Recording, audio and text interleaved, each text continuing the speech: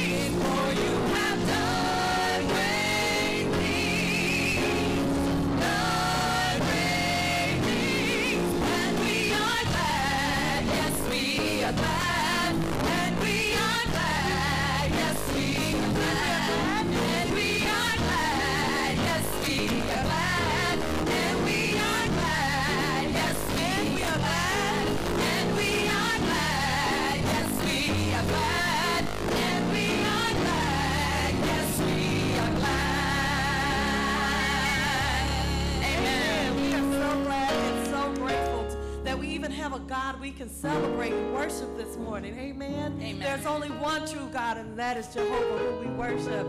Now we invite you all to stand as we sing this morning. Um, Let the glory of the Lord rise among us. Let the glory of the Lord fill this place with song and joy this morning. It's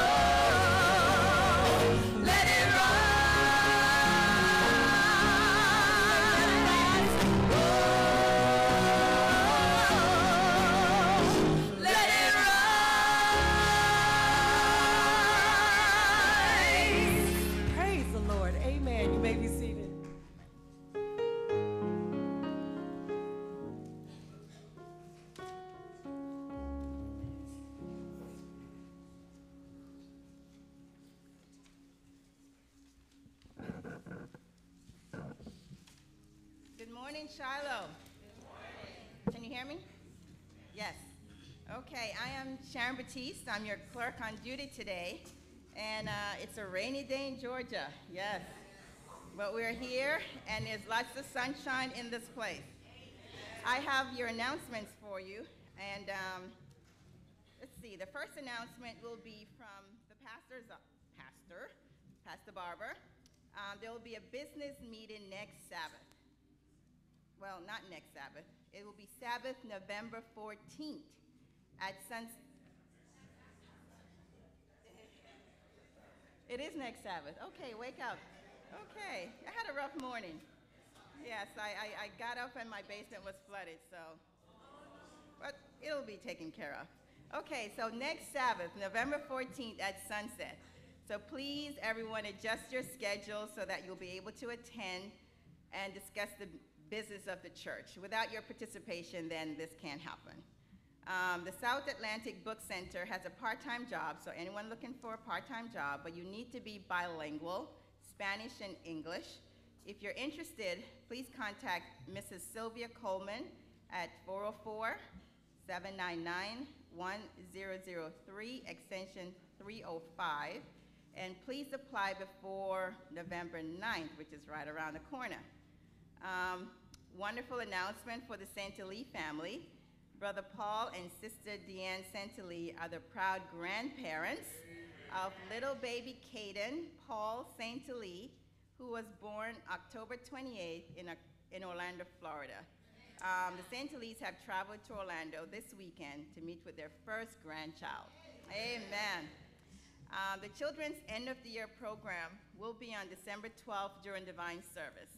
Rehearsal will take place today and every Sabbath until December 5th. A small donation per family is needed by December 14th. Please check um, for further information with Sister Jahira Davis for all the children and their parents. The next announcement is from the AYS department. Please come out this afternoon at 4:30 p.m. The title of the AY today will be Choosing Music for Yourself, a very important topic.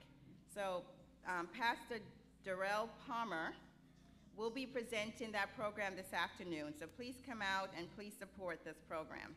And right after sunset, there will be an indoor soccer for all the little ones. And I see they're all over here on my right. So all the little ones, there'll be a soccer right af- indoor soccer right after um, sunset. Uh, my next announcement is from the seniors department, and Sister Cross would like me to read this to the church. Um, senior Day is Sabbath, November 14, 2015, and to all. You're cordially invited to attend the play David and Goliath directly after lunch, November 14, 2015, and it's going to be right here in the sanctuary. Your presence is kindly requested. Um, it's from the Shiloh Drama Ensemble. I didn't know we had one. and to this end, we do need to get together to practice. So all the seniors or everyone who signed up to be a part of this play, Sister Clark is asking that you stay right after church and meet with here her on this side of the church. Right, Sister Clark? Right, she has important things she needs to discuss with you. So please attend. And I think that is it for my announcement. And at this time, we'd like to acknowledge the um, birthday celebrants. Happy birthday to you. Okay, so um, November 8th, which is tomorrow, we have Pauline Claude who will be celebrating a birthday. And also tomorrow, November 8th, we have our own first elder, Brother Glenn Wallace. Amen. Happy birthday. And um, George Phipps. I don't see Brother Phipps, but he'll also be celebrating his birthday tomorrow. So whenever you see them, please give them a hug and wish them God's blessing. We have lots of birthdays on the 8th. Um, Samantha Campbell, happy birthday, and Esther Davis. So all those people will be celebrating their birthdays tomorrow. Okay, November 12th, we have two celebrants, Lauren Strode Humphrey and Brenda Malawi. Happy birthday. And on the 13th, we have three celebrants, Mark Price, he's not here today, Tudette Hammond, I don't see her, and Kaylin White.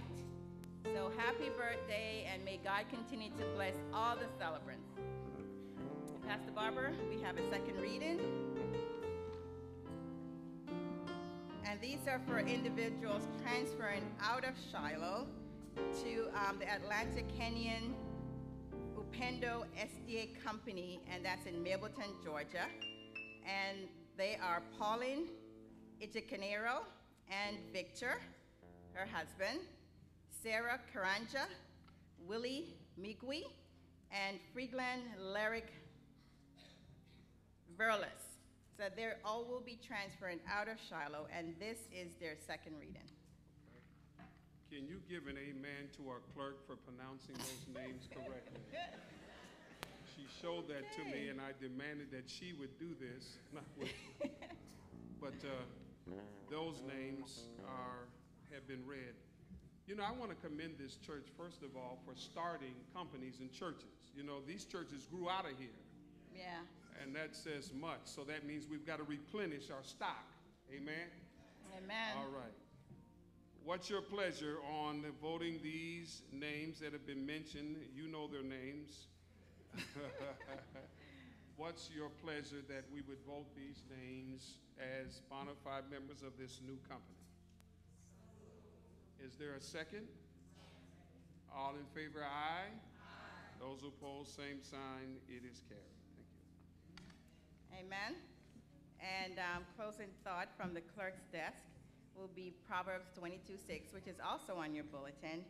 And this is a text that is familiar to most of us. And it says, Train up a child in the way he should go, and when he is old, he shall not depart from this. And at this time, we'll have um, Brother Rodney has an announcement. And following Brother Rodney, we'll have Sister Pauline Cook, who will follow him with her announcements. And have a blessed Sabbath. Amen. Amen.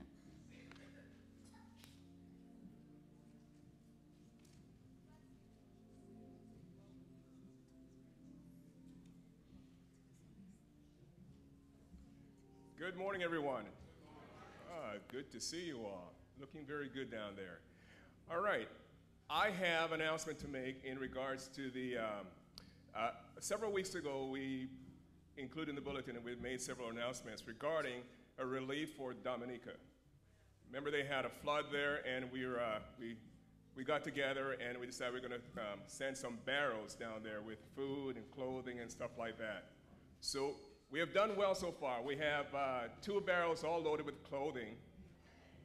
Thank you all very much. And we have one more barrel that we want to send, and we want to send food in this one. Now, we have some stuff already, but we need your help in terms of providing some food. We also need uh, things like um, medical supplies and uh, school supplies. You know, of course, with all the things that went on there anyway, we want to help out as much as we possibly can.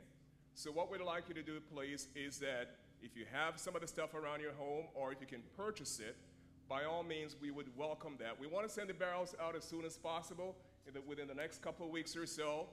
And if we can get two barrels, that'll be even greater. But, uh, but we have one, and it's all in the gym right there now. It's empty, so please, we want you to fill that up with food and all that. Some of the things that we probably need, of course, would be, of course, as I mentioned, school supplies. We want, you know, rice, flour, the staples that we usually use, um, canned beans, peas, cereal, all that wonderful stuff we want to have crackers, baby cereal. And also, I want to mention that if you have monetary donation also, that would always, always be welcome. So I, I encourage you that if you have any of that stuff anyway, please let us, me know. Contact myself, um, Sister Hodge, or Sister Ann. Um, and what's the other Ann? The tall Ann. Last name. Allen, thank you. Sister Anna Allen. That's what, um, those are the three people. If you can just contact us and let us know, please. Thank you very much. Is there anything that I'm missing? I think that's about it. Thank you and God bless you.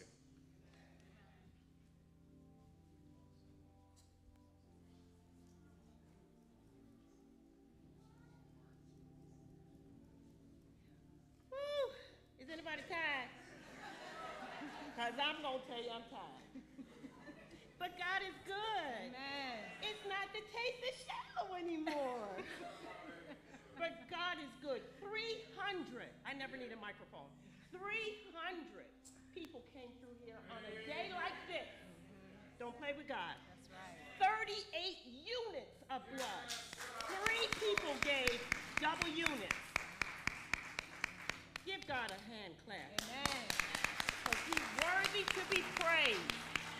So we've started something in this community, right? Yes.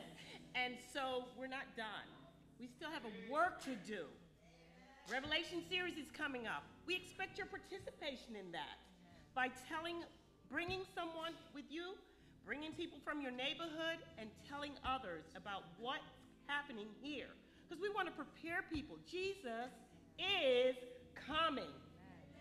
And we want as many that would like to go to go with him. I'm going. How about you? Amen. Now, we're going to show a couple pictures real quick and then get out of the way. And we want to thank all those that participated at the Taste of Shiloh, whether you were in the planning team. We'd like the planning team to please stand up. Please stand up. To God be the glory. Please stand up so you can get your props today. God is good. Thank you so much. I know the emails. Lord have mercy. You will get just a few more from me.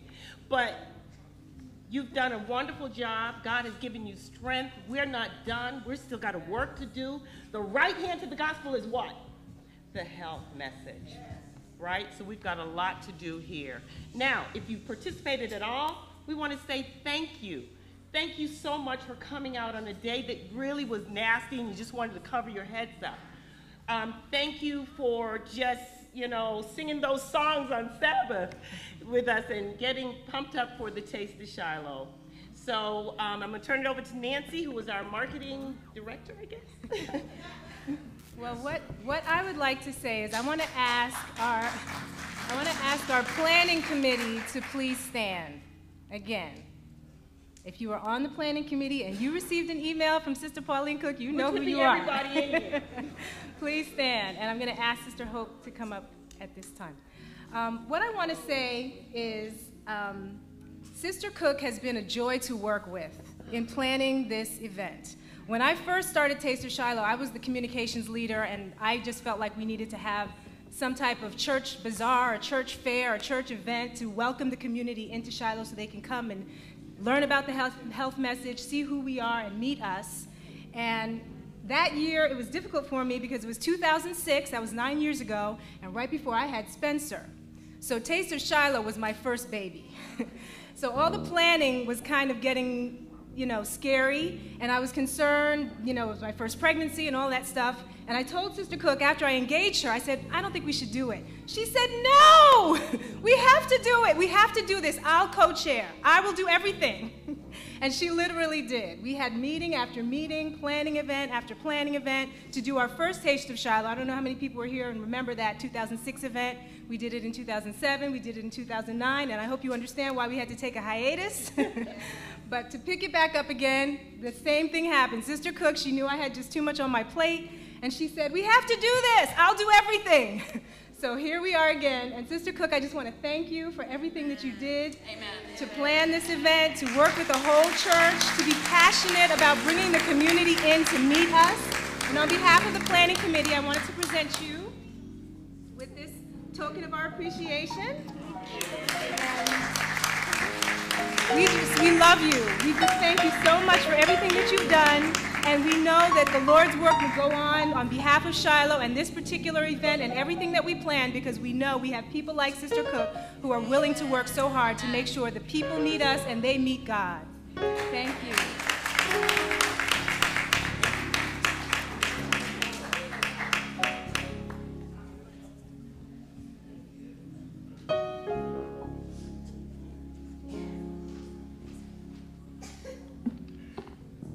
It's always a blessing to have dedicated servants of the Lord in our church. Amen?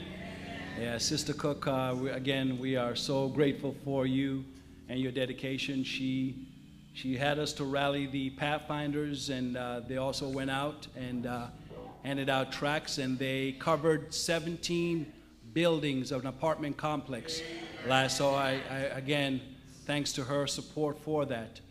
Tomorrow is a very critical day for our young people in terms of our fundraiser. Many of you have been contacted by our young people in terms of our citrus fruit sale. We've already placed the order, and it will be coming in in another week or so. But many of you have not turned in your order forms, your funds. Please, we need you to do that tomorrow so we can get this all reconciled. So we have our regular club meeting for both Pathfinders and Adventurers uh, at 10 o'clock tomorrow morning, and we'll be there. Uh, so we'll have staff available to collect your orders. It's not too late. If, you've or, if you think it's too late, you can still turn it in, but tomorrow we have to get it all collected along with the funds so we can go ahead and do this. This is the biggest fundraiser for our young people, amen? And it's a way for us to be able to do things for them that sometimes, because of finances, we can't do. We never would like to say no to our young people because the funds are not there. So this is a way for us to be able to do that. So we are pleading with you and asking you uh, to see us and make sure we can get that all taken care of by tomorrow. God bless.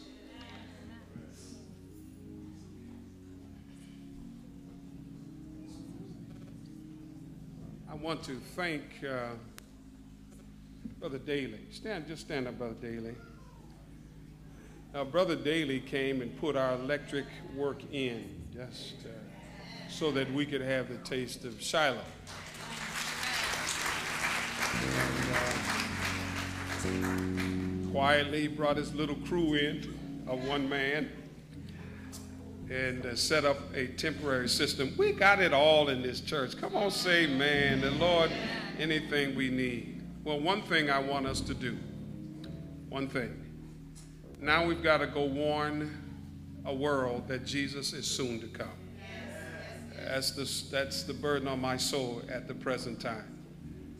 Last week, I was, I understood that um, a friend of mine informed me this young man, I don't know what he did, but he was being chased by his associates. And um, he happened to, as he was running, slip and fell when his associates caught up with him, they ended his life. And I don't know how to say this to our young people over and over again that outside of Jesus, there is nothing promised to you but a bad time. I just want to plead with you. I'm sure this young man thought he was in good company when he was hanging around with those who were just like him. But I want you to know that the devil plays games. And he may lead you to think that friendships outside of Jesus are okay until they go awry. awry. Then you will find out what the true nature of every human being is if God doesn't have a hold of them. This is about Jesus, Jesus, Jesus. And I believe the Lord saved my life, earrings and all, pressed hair and all. I believe the Lord saved my life so I could tell you, don't try it. I've been there, done that. Been there, done that. And so I want to encourage your heart. Please stay with Jesus. Please, young folks, I'm begging you, please. Just heard that uh, one of our, my uh, conference committee members, a lady I used to pastor, just got a call. A young man in college is her grandson. He wasn't the target for getting killed, it was another guy he was with. This 19 year old is dead today. He just got killed the other day at school in college. Wrong crowd. I was downtown the other day, uh, had to go to a function. And I just, I'm hurting, folks. That's why we got to tell people. Young people just buck wild. No direction. Good education, no direction. And I said, How are we going to tell them? How are we going to tell them? And so, my plea to you is sometimes my voice is too old for them to listen to, but your voice is young enough for them to listen to.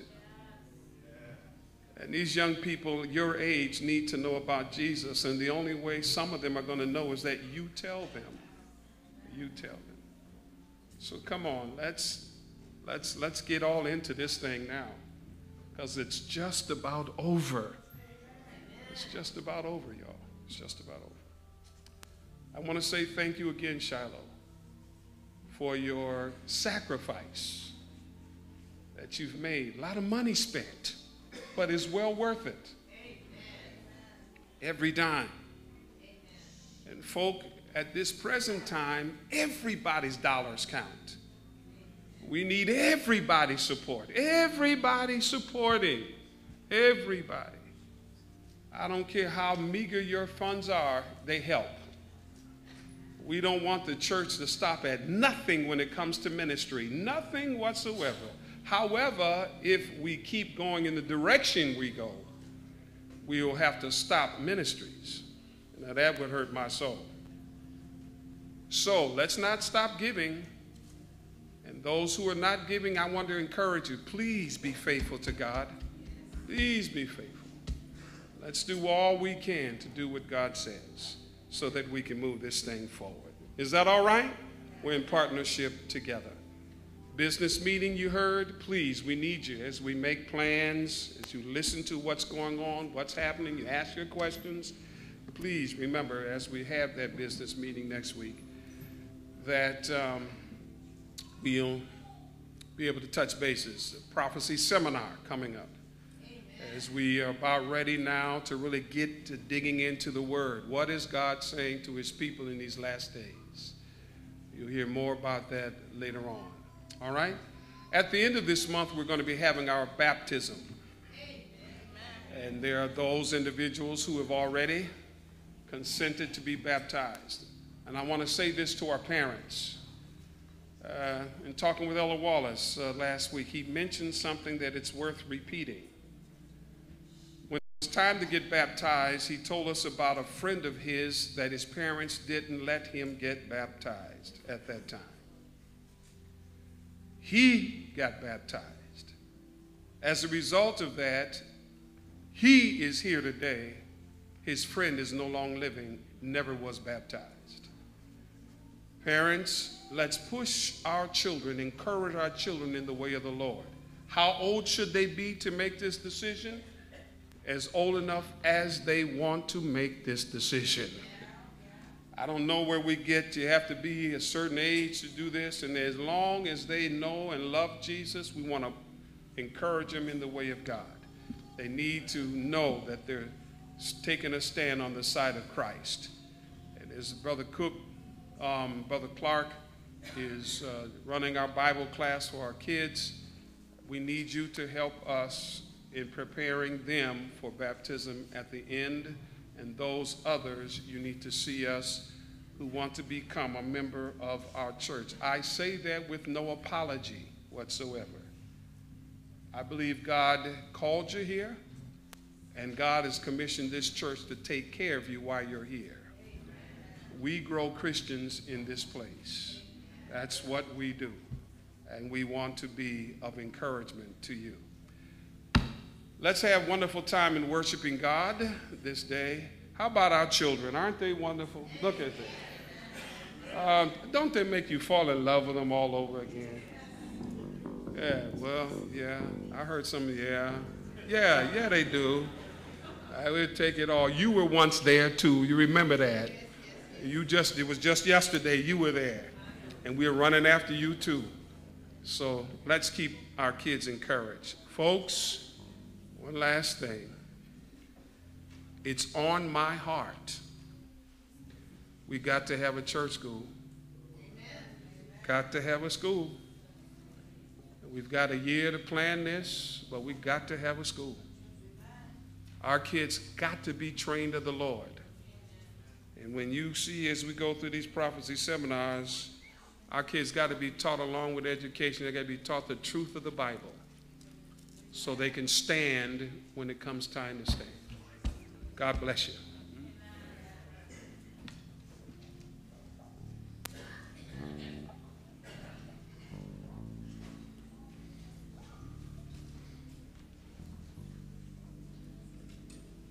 Good morning, happy Sabbath. Morning, happy Sabbath. My name is Ellie Nyalete. This is my wife. I'm Leah Nyalete. Um, do we have any visitors today, this morning? If we have any visitors, please stand up. Amen. Would you please state your name, where you're from, and who invited you?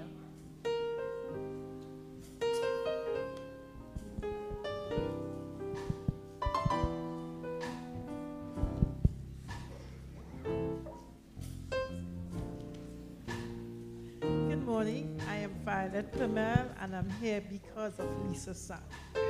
And my sister Rigsby, Sharon. I'm, I'm staying with Sister Sharon. Good morning. My name is Omar Odom. I'm from South Carolina, and um, we just visited. Amen. Good morning. My name is O'Darrow, and I'm here with my family, and we're visiting here also. We're here in this area, Smyrna, Georgia. I'm Chantalee Brown from West End Seventh Day Adventist Church. Amen. This is Troy, and this is Saray. Happy Sabbath. My name is Thomas. I'm from West End Seventh Day Adventist Church.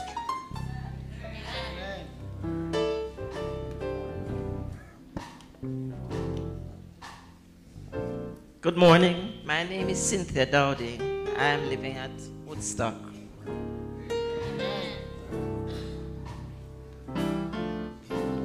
Hello, my name is Natalie Harris, and I attend Bethany SDA Church, and I attend um, Kennesaw State University. Good morning. I'm Natalie Harris's mom.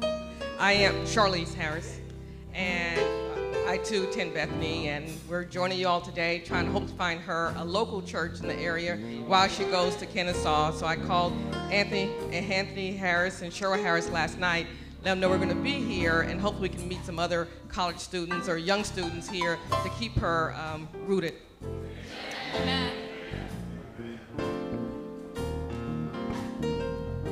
We, we want to thank you all for coming to uh, worship with us today. Uh, we are grateful that you are here. Um, as you can see, we have a very vibrant church. We have great leaders. We have hardworking people working for the kingdom of God. We would like to keep you. Please, if you're looking for a church, this is it. Um, so you can see we, we, we are family here and we would love to have you as part of our family. Shall we all rise and welcome our guests in our own Shiloh way?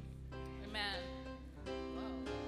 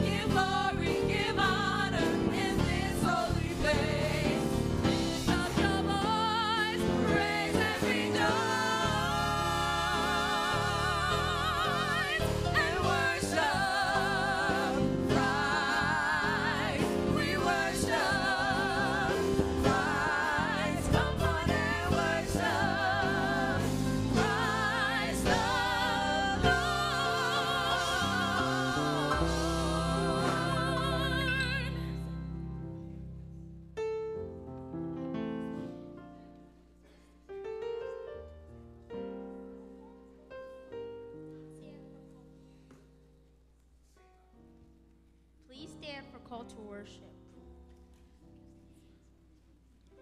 Shout to the Lord with joy, everyone on earth. Worship the Lord with gladness. Come to him with songs of joy. I want you to realize that the Lord is God.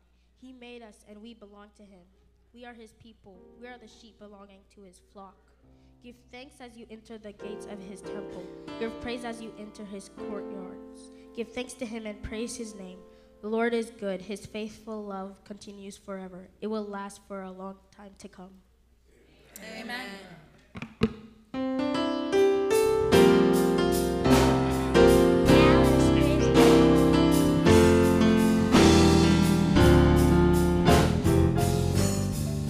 Now let us praise God from whom all blessings flow.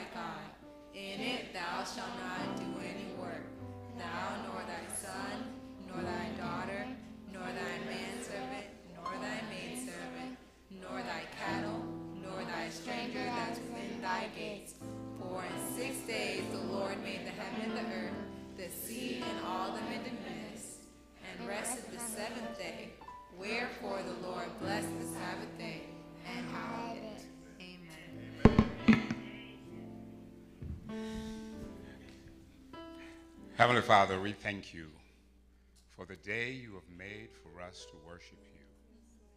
Father, we thank you for bringing us into this place because it's here where you design it so where we can fellowship with you. Now, Father, accept our worship, accept our praise.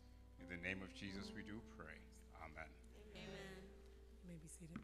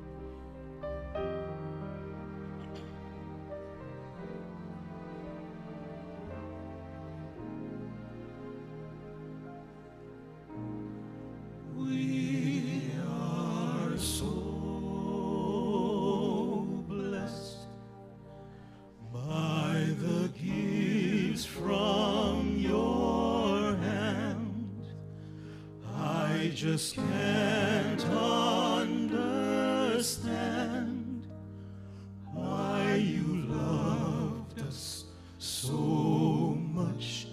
We are so blessed. We just can't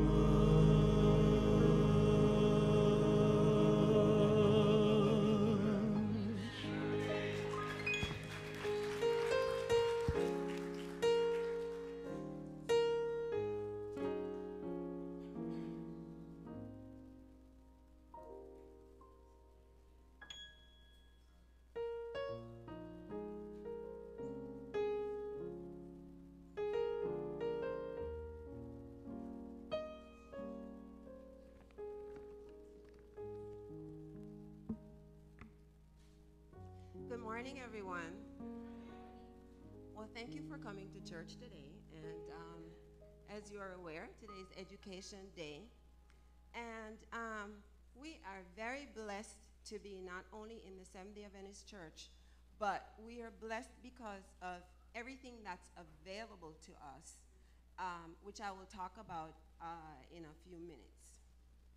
So, the Education Department believes that we exist to educate not just for success on earth, but for eternity. Hence our motto, which Sister Batiste is credited with coming up with, educating for eternity. And the book Education states that true education means more than pursuing a certain course of study. It has to do with the whole person and with the whole period of existence possible to human beings. It is the harmonious development of the physical, the mental, and the spiritual powers. And that's what we try to do here at Shiloh. Just wanted to tell you about a few of the things that our education department has been involved in. So we have given scholarships, which include tuition assistance to our students. We have also uh, participated in the three-way scholarship where Shiloh gives a portion, the conference gives a portion, and the union gives a portion, and that's why it's called the three-way scholarship. We've also participated in volunteer um, events. We've had two volunteer events at Project Open Hand, and you will see pictures of that later on. Uh, Sister Jackie Forbes has also done a presentation for students who are juniors or seniors in college about the college app application process, not only for the students, but for the parents as well. So Assembly Adventists, we are blessed to have choices when it comes to choosing educational institutions.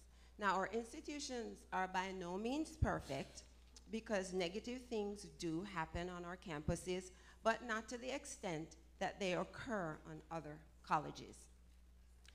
Um, I remember a friend of mine telling me years ago when my kids, my, my kids went to public school, and she said, when you're considering college, please think about sending them to a Seventh-day Adventist institution. She said they will be amongst like-minded people. Um, if they're looking for a mate, they have several to choose from. Um, and our colleges offer many of the protections that other institutions do not offer. There's a curfew. Um, they have opportunities for missionary serv service. Um, we have gender-specific dorms, uh, worship services that they have to attend. I know I slept better at night when my older son was in an Adventist institution, and I sleep very well at night knowing that Zach is in a Seventh-day Adventist institution because he has to be in the dorm by a certain time.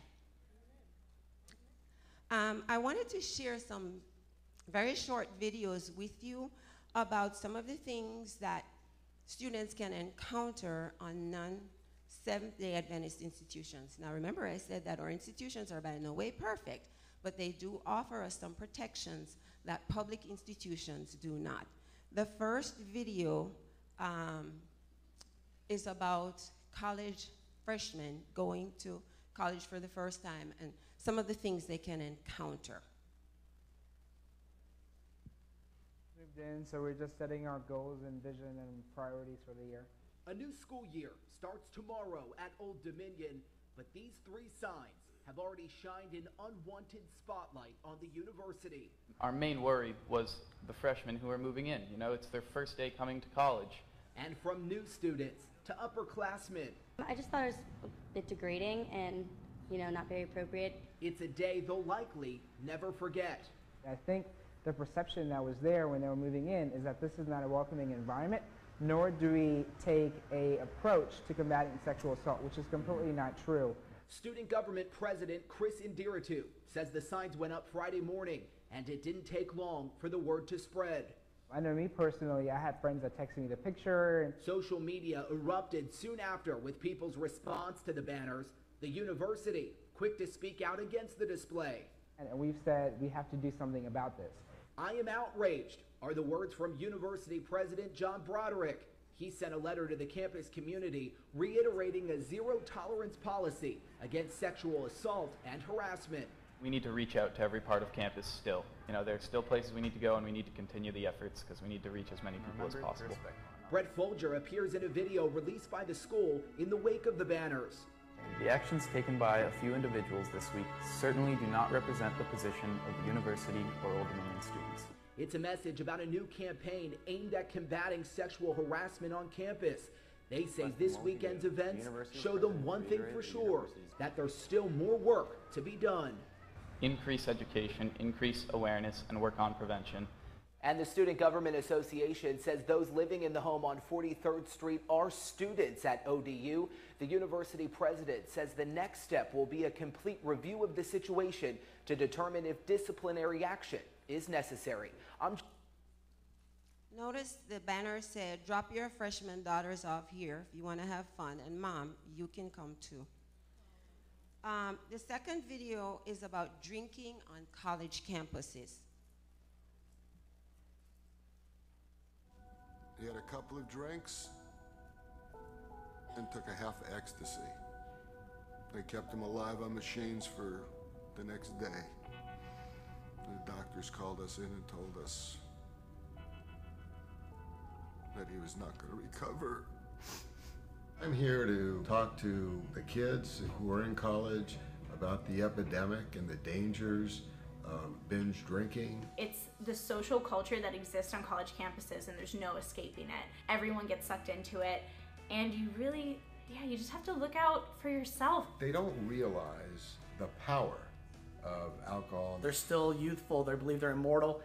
They need to be uh, respectful of what alcohol can do to the blood system, how it starts to impair good judgment. It takes some time to get into your bloodstream, and it creeps up on you. They think they can still drink more and believe that they're okay. By the time you've had two or three shots, you're pretty much wasted. Alcohol still continues to climb in your blood system as it continues to be absorbed in your stomach for a period of time long after you've been drinking. Under no circumstances are you to get into a car after you've had any alcohol on your lips. It's not worth risking your own well being and your own sanity for the rest of your life to put yourself in that situation. And the third video is about co ed bathrooms.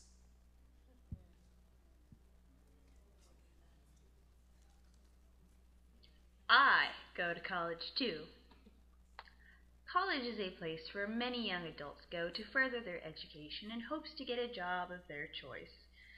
Now, as we have been growing up, adults have been working very hard to make sure we're ready for our college years, but they seem to have left out a few very important details about college. Sometimes when you go to college, you have to live on the dorms. Because, you know, not everyone can commute to two or four, maybe eight hours of school and back every day. So, you live on the dorms. Yeah, simple enough, right? And sometimes when you live on these dorms, you live on co ed floors. Eh, no biggie, right? Girls mind their own business, guys mind their own business. It's all pretty good, and they even mingle. You know, good for socializing, right? And you would imagine that with these co ed floors, you would have a girl's bathroom and a boy's bathroom, right? Well, I guess sometimes that's just not the case because here we have gender neutral bathrooms. What's up with that? Huh? I mean, come on, really. Like, we've grown up all our lives with separate bathrooms, and all of a sudden they're like, oh, well, you get to share a bathroom with the guys. What? That, that's so gross, right? I mean, guys and girls in the same bathroom, like, that's only something you should do when you're, like, married or have a sibling or a brother and sister or something, then you share bathrooms with your opposite gender. That, that's like the only time, right? No, I guess not that's necessarily the case. But since we have these gender neutral bathrooms, now we, as girls, have a lot more things to worry about. We have to worry about guys walking in on us on accident when we're showering, and their hair, I mean, it was bad enough dealing with just girls' hair, but now we have to deal with guys' hair. Eesh. And and if guys shave, then they're Okay, I, you get the idea. So, as Seventh-day Adventists, we are known for our hospitals and our educational institutions. Um, there is a brochure that we have to pass out, which was made by Sister Rose Heacock, and she and Sister Cook worked on this. Um, if you would like a brochure, if you would go ahead and raise your hands, they will pass a brochure out to you. The, this has all of the accredited institutions in North America, Seventh-day Adventist colleges and universities. The ones that are not accredited were not included on here, but that doesn't mean we don't recommend that you attend those. Um, you, you would have to make that choice. Um, And while they're doing that, we will just go ahead and share a few pictures with you of our volunteer events at Project Open Hand. Um, I'd like to also take this opportunity to thank all of our students for participating, our homeschoolers, our public schoolers, those in private schools. All of you, thank you so much, and thank you to all of you for coming today.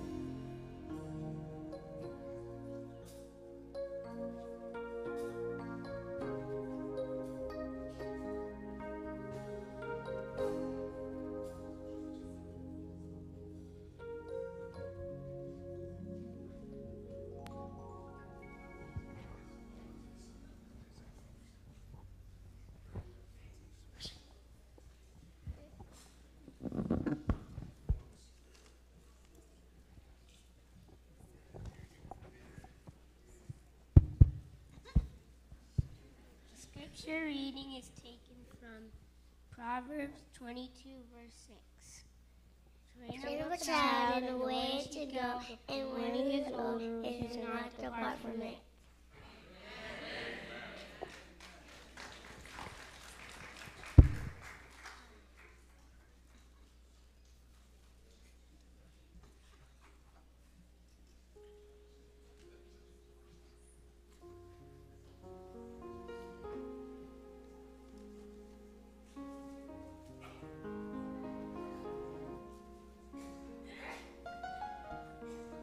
Sabbath, everyone. How are you? Um, now is that time of the service where we can all give back to what we got this week. Um, so let's all get our tithes and envelopes, and our offerings ready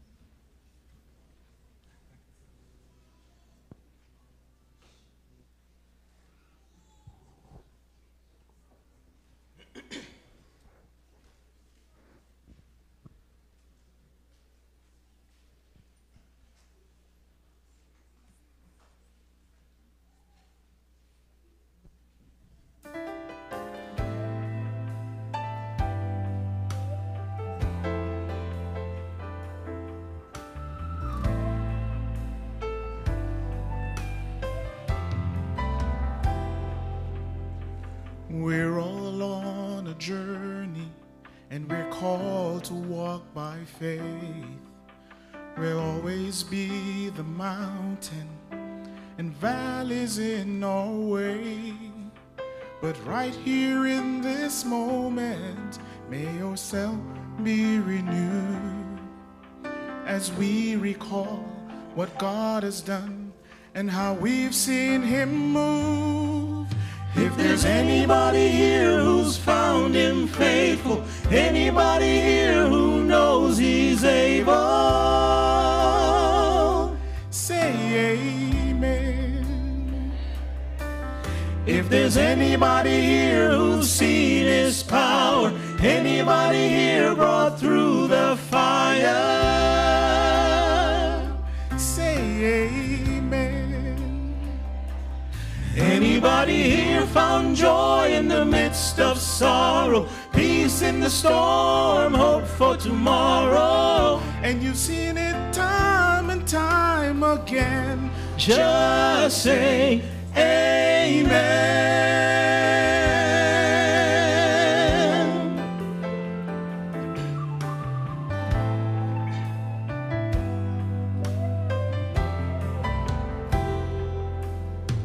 Sometimes through the darkness, gets hard to see. But be bold and courageous and follow where He leads.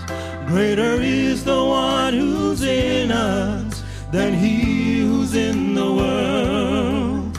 So, child of God, remember the battle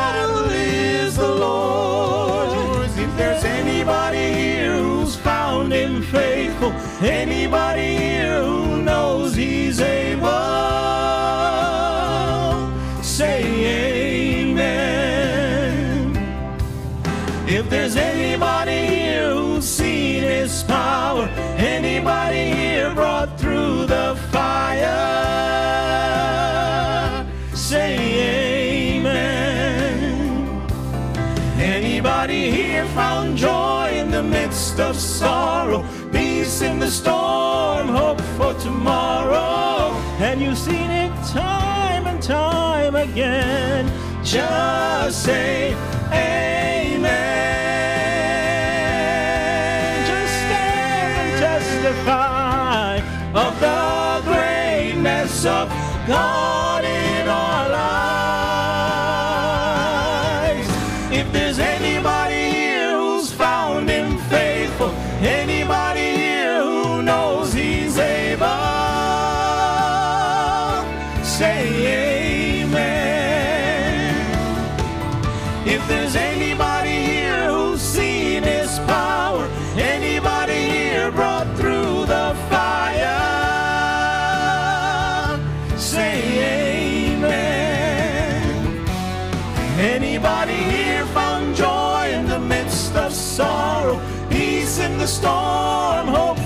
tomorrow, and you've seen it time and time again. Just say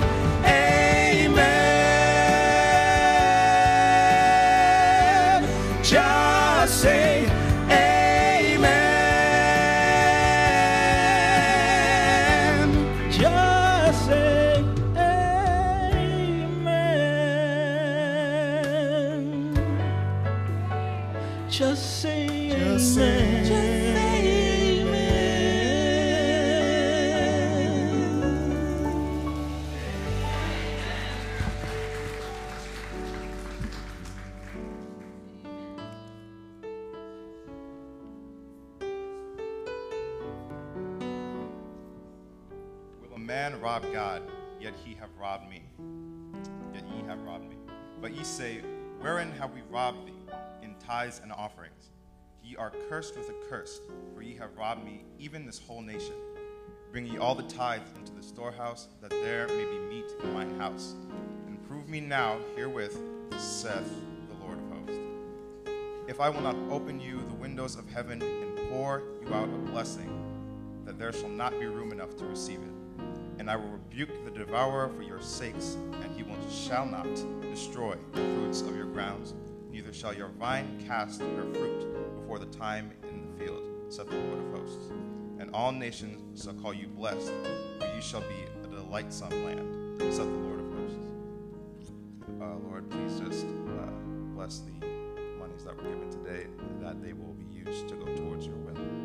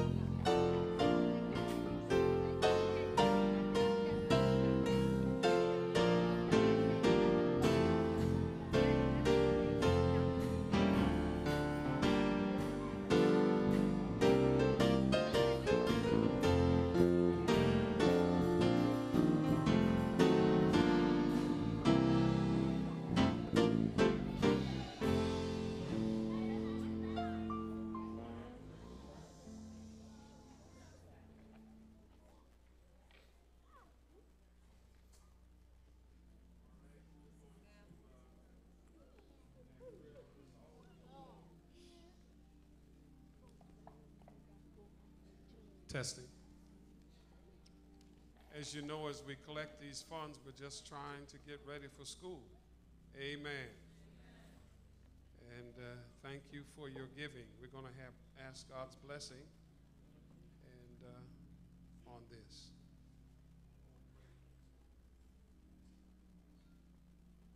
Dear Heavenly Father, we thank you for this day. Please bless this offering and let it go towards something good and to bless someone or something. In your holy name I pray, amen.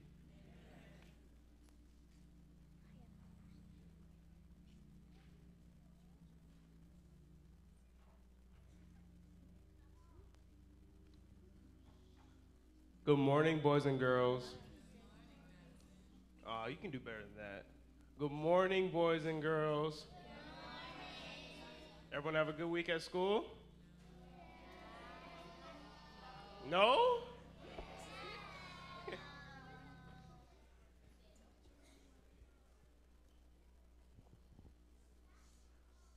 Um, we're going to read a memory text taken from 2 Kings 5, verse 14.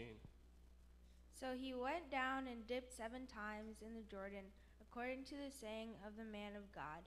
And his flesh was restored like the flesh of a child, and he was clean. Can anyone guess the story we're going to talk about today?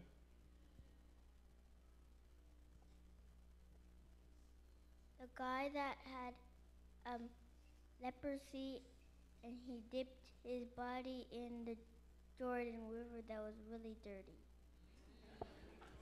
That's correct. That's correct. So, who's heard the story of Naaman? Of course, y'all have. Okay, so there was a man named Naaman, and he was a commander of the army for the king of Syria. He was also known as a hero of his country. But Naaman was sad. He had a terrible illness called leprosy. Who knows what leprosy is? Y'all are smart.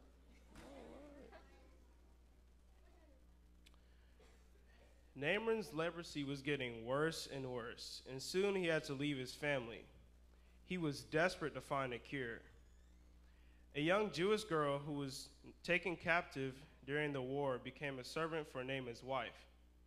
She told Naaman's wife, There is a prophet of God in Samaria that could help heal Naaman. So the king of Syria encouraged Naaman to go to Israel. Elisha heard of Naaman's illness and invited him to his house. Now, Naaman went to Elisha's house with many gifts. Could you believe that? Many gifts. It, it wasn't even Christmas, it wasn't even his birthday. He brought many gifts. Elisha sends his servant to tell Naaman to go to the Jordan River and wash himself seven times. Now, Naaman wasn't happy that Elijah didn't come to see him, and Elisha didn't even take his gifts. Isn't that a shame? It's probably good gifts. Now, Naaman was wondering why he should go to the Jordan River. Now, the Jordan River was nasty water. It was water you wouldn't want to drink. It was murky, dirty, black, maybe. but Naaman decided to go home. Now, Naaman's servant asked him, If the prophet told you to do something great, would you have done it? Why not do the simple thing he told you to do? Would you go in the dirty water? Yeah. You would? Why, Eli? Because God said so. So Naaman went to the Jordan River and dipped seven times, and he was healed. How many times did he dip in the water? I thought he dipped once. Did he dip once? He dipped twice? He dipped six times. He dipped seven times?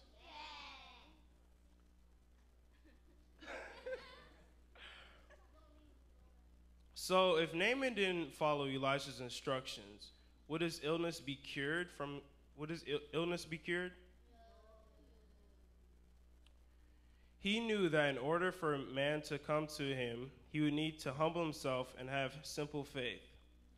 So, We have to have simple faith, just like Naaman did. Even though he didn't want to go in the water, he had faith that he would be healed. So remember, we have to obey our parents and we have to obey God. So, who would like to pray? Two volunteers. You. And we need a girl.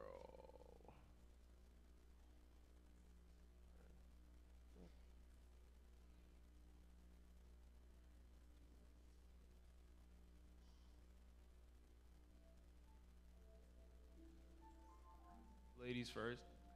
Bow your heads and close your eyes.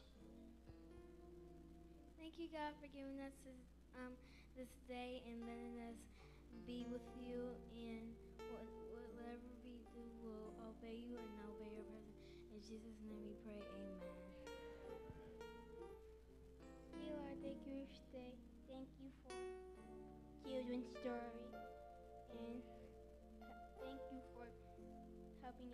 us a story. Amen. Amen. You can go back to your seats now.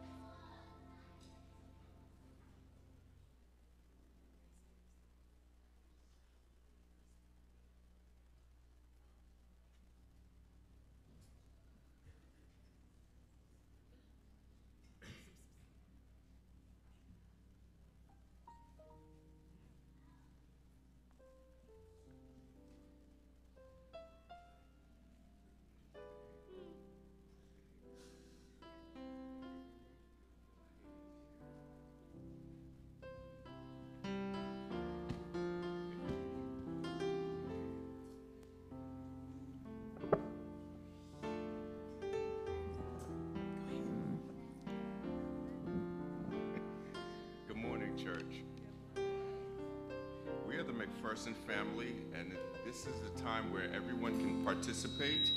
This is a time for prayer. And so, if you have any special desires, special needs that you'd like to present before the Lord, we invite you at this time to come forward closer to the altar.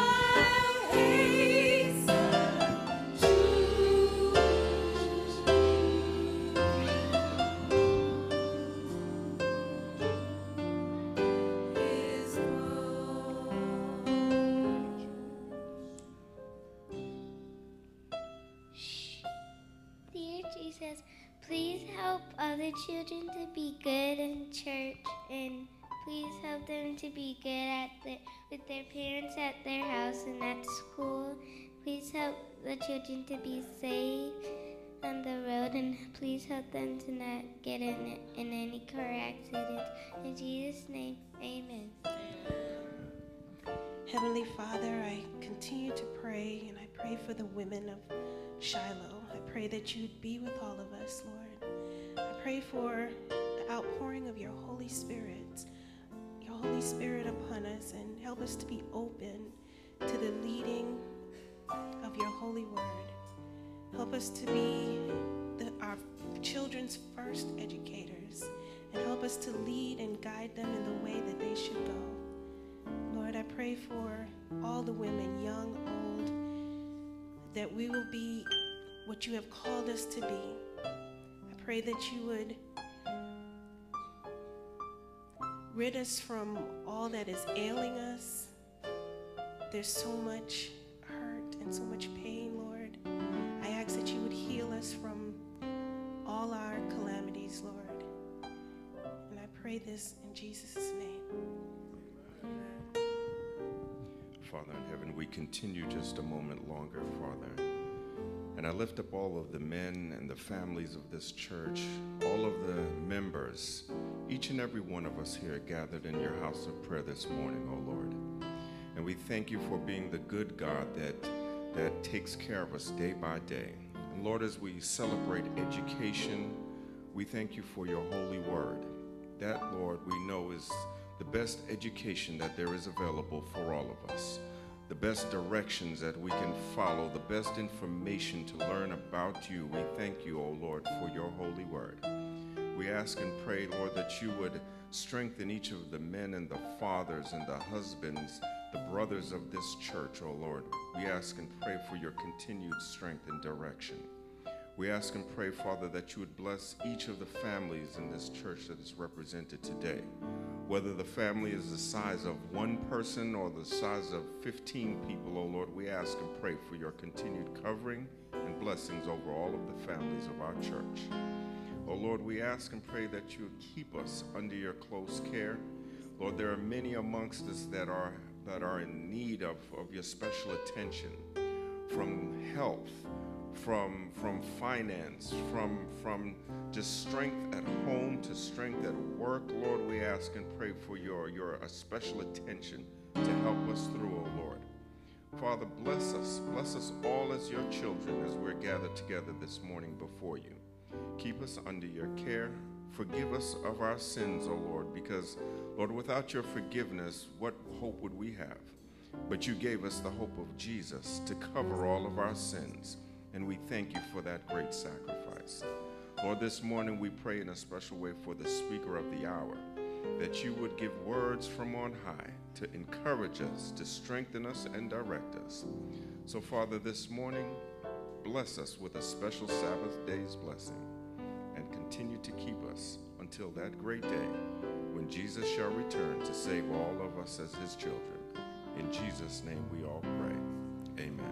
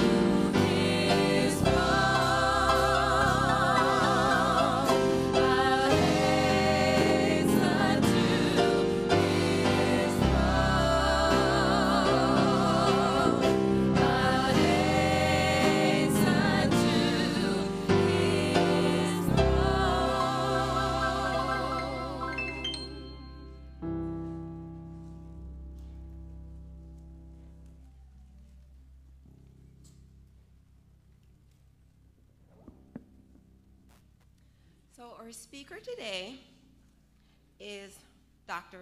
John Patrickson, and I will just read his bio, and then after that, I'll tell you about the real John Patrickson.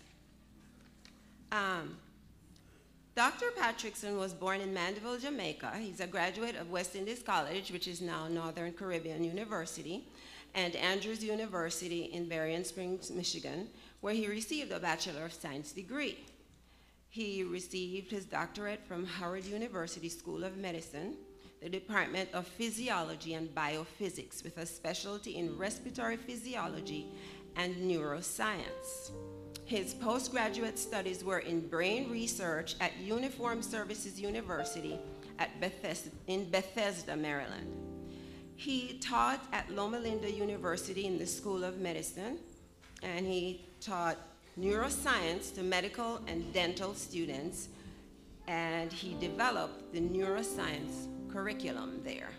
In 1991, he moved to Morehouse School of Medicine, and he's the co-founder of the Neuroscience Institute Brain Research.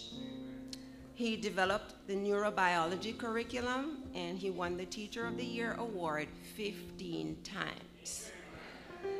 He's the first elder at West End SDA Church and has been for the past 10 years. He has three adult children, Jason, Deidre, and Elise, and two grandchildren.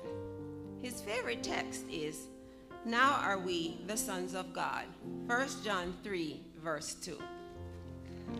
So now I'm going to tell you about the person I know. So I first met Dr. Patrickson about 20 years ago when my husband introduced me to him um, because their families have known each other their whole lives. And as his bio said, he was born in Mandeville, Jamaica, um, which is where Northern Caribbean University is located and where the Reynolds family lived in Mandeville as well. And so they lived in close enough proximity to each other where they would have Sabbath evening vespers together a lot, and, okay, and on occasion they had Sabbath lunch. And my husband talks about Mrs. Patrickson's fried chicken and a baked dessert that she would make. Um, and here's what my mother-in-law would say. She would say, I remember the Patricksons going to church, and Sister Patrickson would have the three girls, and, and Mr. Pat would have John on his shoulders, and they would walk to church. Um, they would often take college students home for lunch, and um, my husband describes the family as being a really nice family. Well, I know John as a really nice man. He's very down to earth, despite his credentials. Um, he, as soon as you meet him, you'll feel like you've known him your whole life. And he has come to this church many times. He's been a presenter at this church many times. And so you've experienced his sense of humor and just how nice he is. So after Highest Praise sings, the next voice you will hear will be Dr. John Patrickson.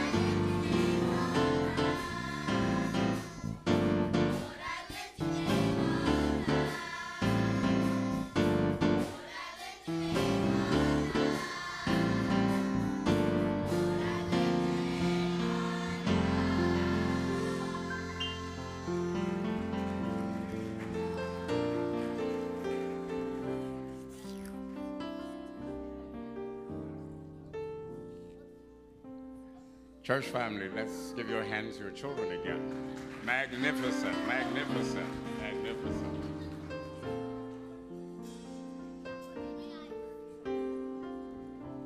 It is always a joy to worship with you. It's like coming home. So many familiar faces, so many familiar faces. I want to say thank you to Pastor Barber. Always let me feel so much at home. Thank you so much, so much. And to Anne, thanks for the invitation, and here I am, here I am. Um, I was thinking I want to put this mic elsewhere, or I'll just keep it.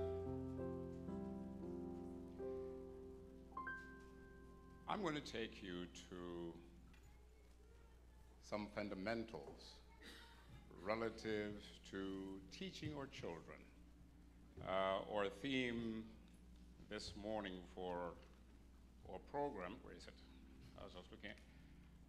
Educating for education, educating for eternity, educating for eternity. Um, when we think of it, when we think of it, the greatest thing that we can do for children is educating them with the information that is necessary for a successful life here and for the hereafter. I cannot overemphasize it. But before I begin, let's just bow our heads for a moment and we'll get started. Heavenly Father, we come before you today. This is your hour. We thank you for your Holy Spirit who is in our midst. Now, Holy Spirit, teach us, open our hearts to receive that which you have prepared for us. We need to hear from you today. Endow our thoughts, or our minds with your presence, with your words. In the name of Jesus, we do pray.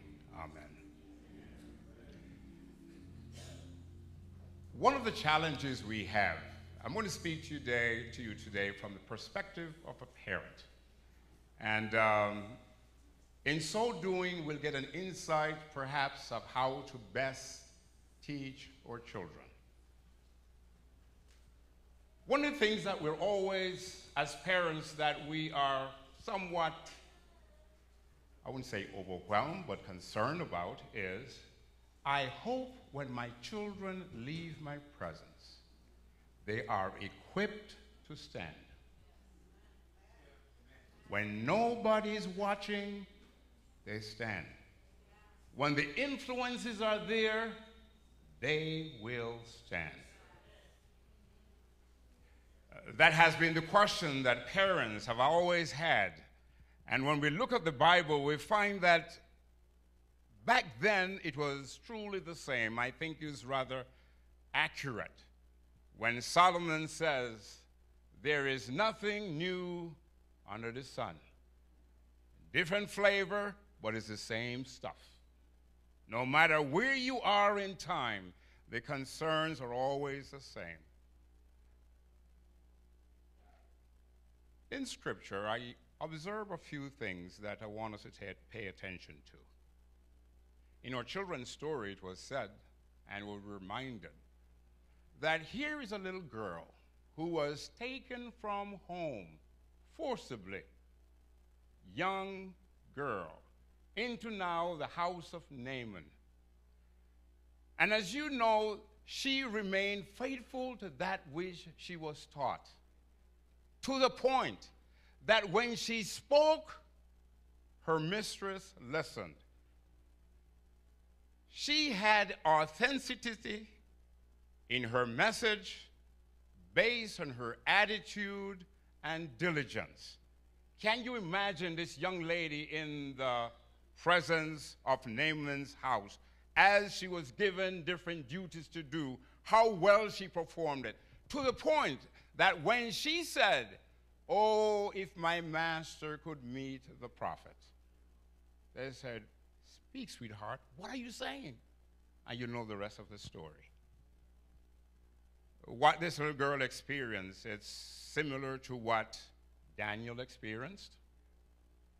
Here again, Daniel and his companions were taken forcibly, brought into a land that they knew not. And you know the story well. The unique thing about Daniel and his three companions was that they stood. They could not be shaken. By the way, you do remember that there were a lot of Israelites present. When the statue was, was erected, what were they doing? They were praying. But they stood. What about Joseph?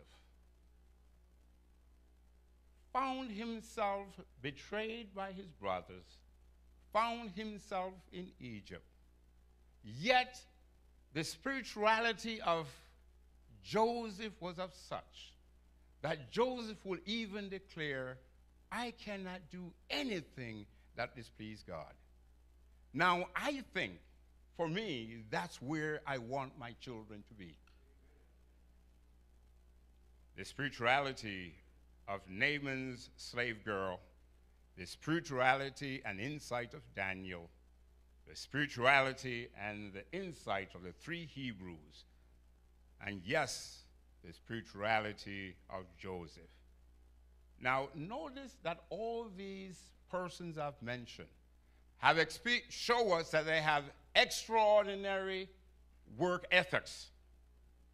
They were diligent, yet they were coming from a home or country where Israel was suffering from apostasy. The true God was neglected, and they were worshiping whoever and whatever they choose to. Yet, in that milieu, in yet in that environment, we find young people moving away from forcibly, if you will. And yet, what they had been taught, who they were, stood. Young people away from home at a young age yet anchored. If I should title what I'm going to speak about today is Young Yet Anchored. Young Yet Anchored. The question is how do we train our children to be firmly anchored? You know, it's very interesting, and you look at the animal kingdom, there are those with, we call them vertebrates and invertebrates. Vertebrates are those with a backbone, they have a spine. Invertebrates are all the others, the insects and all those guys and the worms. One of the things you observe with them is that there are instinctive or innate behavior that they have. Yet some have to be taught. Some are pre wired, yet some need parenting. Are you with me? The spider, for example. Parenting ends when the eggs hatch. The mom knits a little bag, lay the eggs in, complete the net, and she stands in the corner. When the eggs hatch, she's gone. But the babies know just what to do to survive. By the way, you notice that you never see spiders going to webbing school. How do I spin an excellent web? It's all innate. Don't need a parent, yet equipped to survive. I'm a, I just love watching nature so, shows, for that matter, nature programs. It's amazing. How is it the salmon, though spawned way upstream, ultimately find itself in deep waters within the ocean? Yet, when it's time for eggs to be laid, for the new generation, they will find where the opening to that river is. There are no other fish will call them and saying, it is spawning time. Here is your GPS. Let's begin and give the date.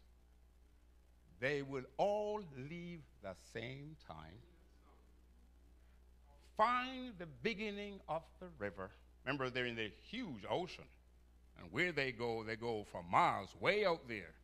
But at the appointed time, here they come.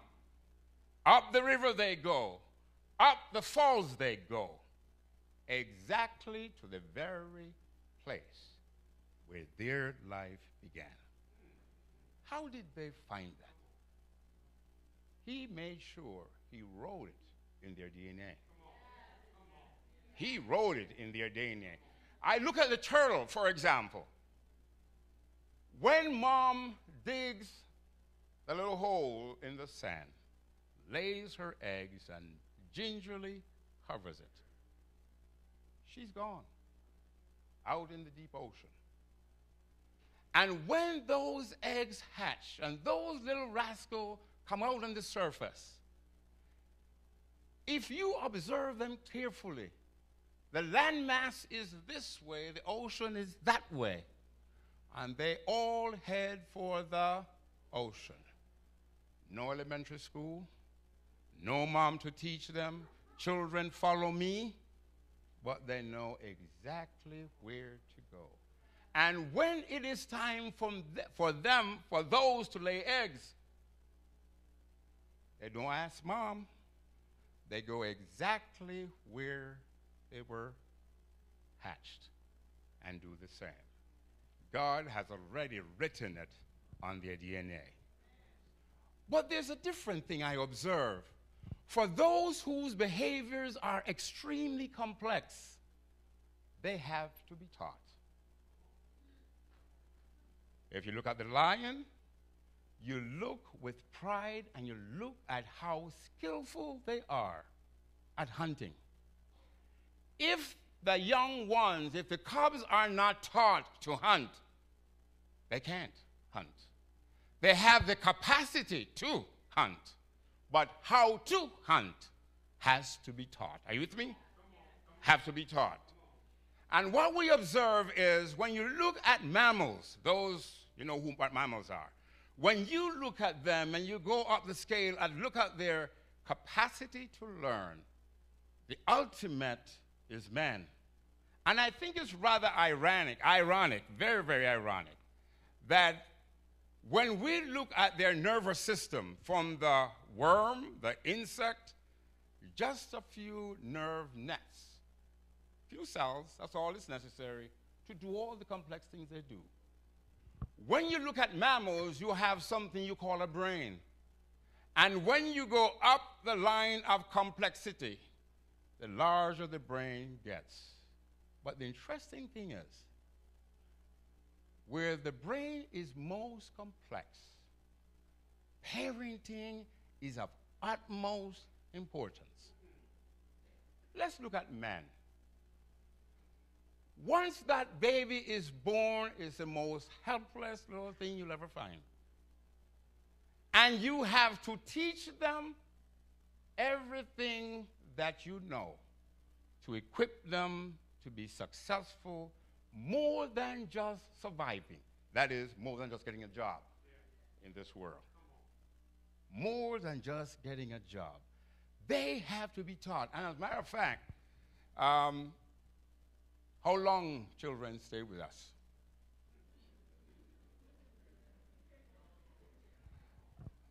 Twenty-one, and they're to college. Twenty-one. Think about it. Between zero to twenty-one, between zero to eighteen, they need input. Large capacity to learn but they must be taught. Are you with me? They must be taught. The capacity to learn, the capacity to learn, when you think about it, there are three dimensions, I would call it. First one is imitation, second, information, and the third, insight. Say it again imitation, information, insight. those with the greatest capacity, brain capacity, one of the things how they learn is by imitation. Children learn to talk by imitating you. The sounds they, they hear, they start to mimic them. The behavior they develop is by what? Imitation. In other words, we copy our parents. And of course, some parents hope that didn't happen. Because some of the things they have copied are the things you thought they never saw. But children learn by mimicking, yes, copying you.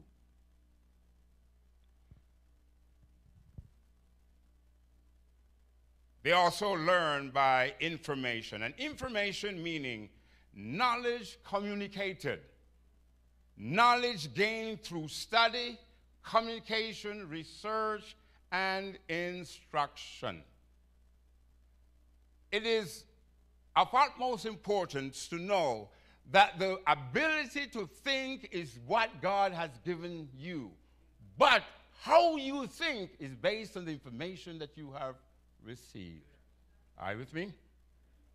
The capacity to learn, the capacity to create thoughts are manipulated, if you will, are generated by information. And the third one, as mentioned, is insight.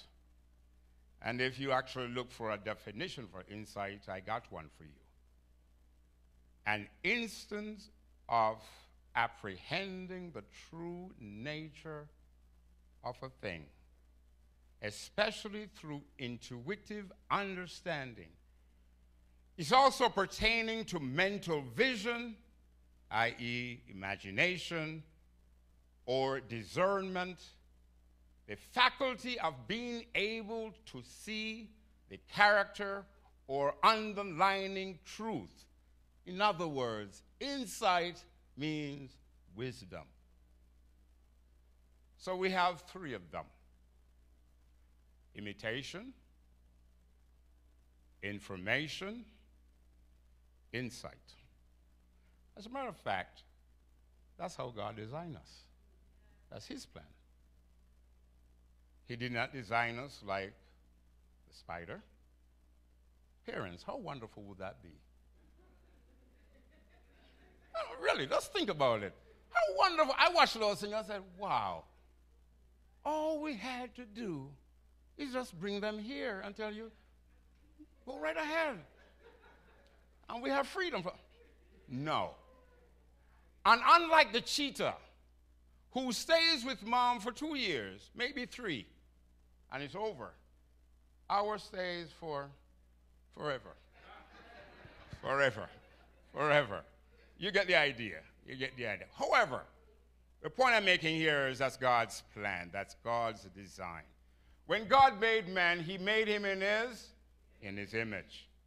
And in making him, he placed in him the capacity to imitate, the capacity to receive information, and the capacity to create insight or to have insight. When he created, as a matter of fact, when we think about it, information will dictate your perception. In other words, the way you see things. Therefore, therefore, when we look at information, when we notice its impact on perception, hence how you interact with information, it also will determine your insight, hence the decisions that you make. Let's look at Adam. When God created Adam, he created him with a capacity, a mental capacity to absorb a lot of information. By the way, when we look at the human brain, it's an overkill. We got too much brain for what we do.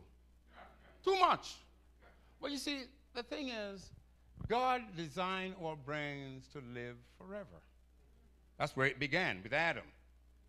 Didn't, wouldn't have, he did not plan, plan to regenerate and give him a new brain. Five million years later, he gave him a brain that had the capacity to learn forever. I hope you can get, get, get your mind around that, right? Get your mind around that. When you get to heaven, you, the, the, you will be learning from him and the environment around you forever. Never forgetting, always receiving, always processing, and you're saying, Oh, you're awesome. You are absolute. Sometimes I get carried away. I love fruits. I love mangoes. And sometimes you get a mango and you bite it, just, mm, that thing is good. then he says, he says, you have not tasted anything yet. Can you imagine when you're up there and you bite something, a mango so big, you're wondering, is this a mango? And when you bite in that thing, you have never tasted anything like that. You just look at him and you say, now you understand why praises go to him continuously. And for us, being here with what we're going through, everything you touch, everything you experience up there, you're just going to simply just blow your mind. And you look at him and you say, if it wasn't for you, where would we be? and while I'm in that, while I'm in that, and when he raised his hand and that wonderful smile, in his hands you saw the prints.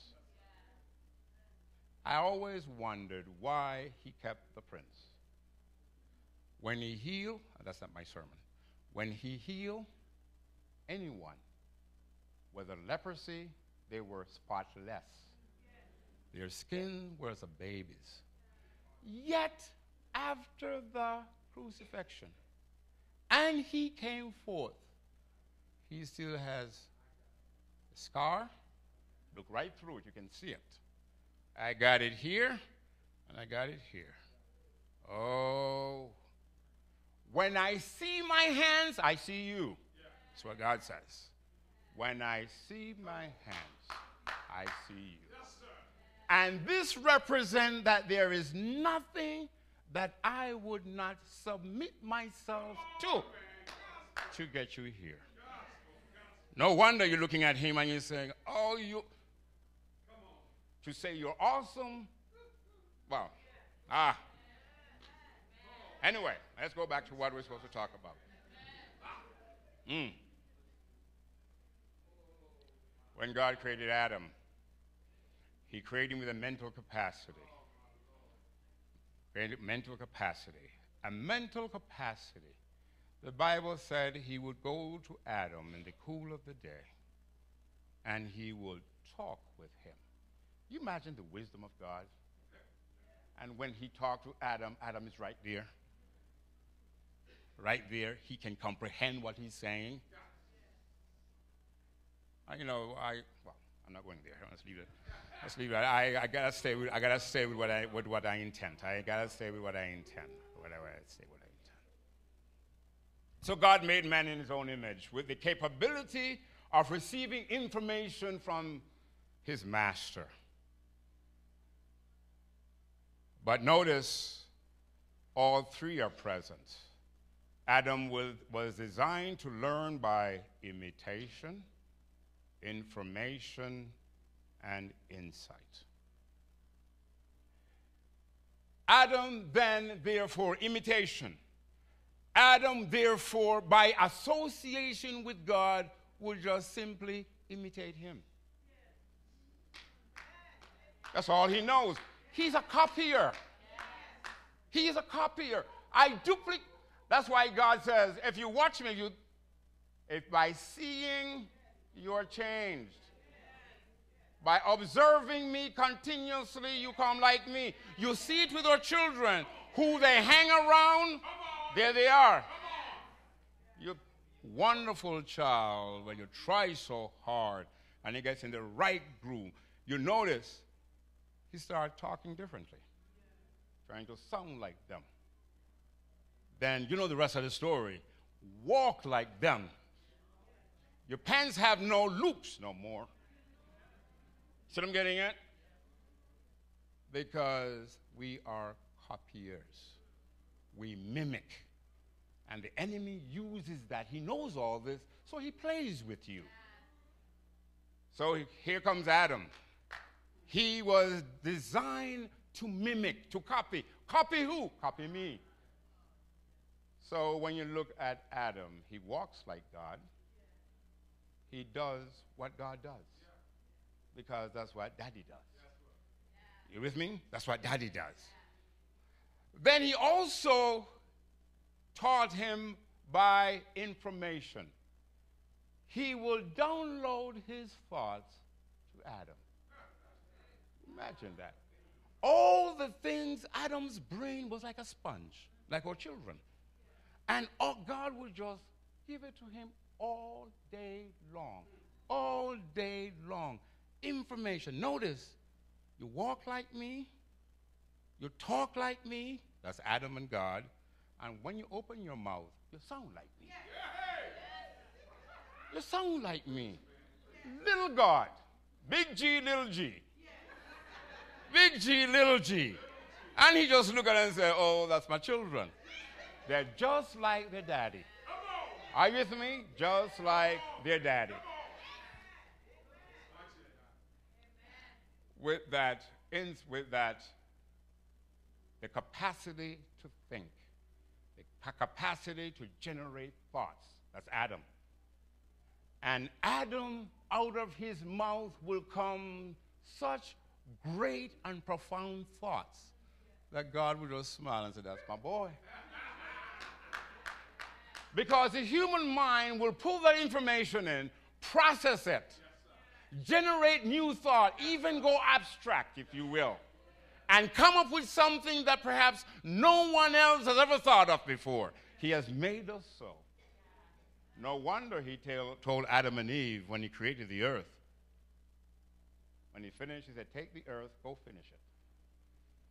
Go complete it. Go complete it. This is your playground. Go complete it. So God has placed that within us. Learning by imitation, information, and the creation of great insight. By the way, you know you learn from your insights. From those unique thoughts, they're yours. And when you act on them and see the outcome, they become you.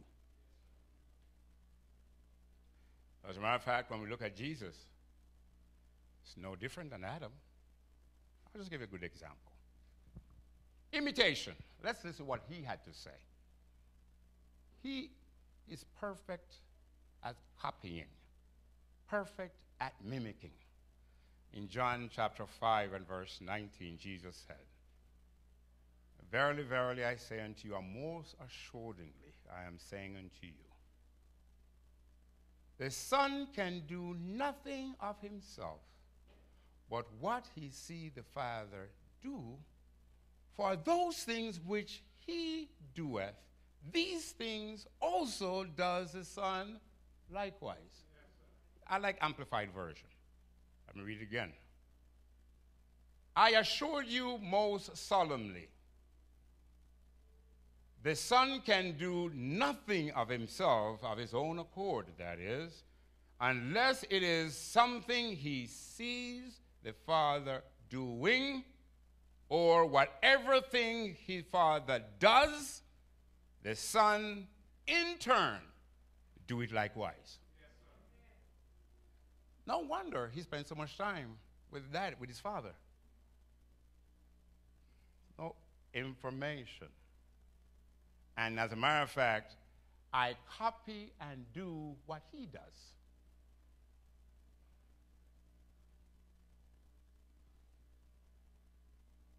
Information.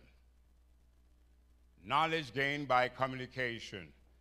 Jesus, by the information given him, he knew for sure who he is. Even when the enemy came to him and said, If you are who you say you are, do this. He said, I don't have to prove it to you. He knew who he was, who he says, based on the information he has gotten, he says, I know my purpose. I know what my purpose is. My purpose is to do what? Do the will of him who what? Who sent me. Now, there's a little thing one needs to look at the whole idea of information. What would Jesus, what, what Jesus actually did with information? I'll read something to you. Jesus speaking from John chapter 10, verse 7, 10, verses 17 and 18.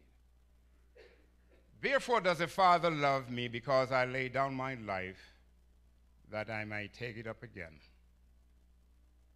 No man take it from me, but I lay it down by myself. I have the power to lay down. I have the power to take it up again. This is a clincher.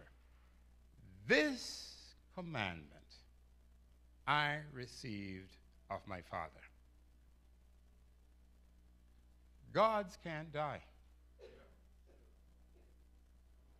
But I am telling you, his father says, you are in the flesh. I'm telling you something now, son.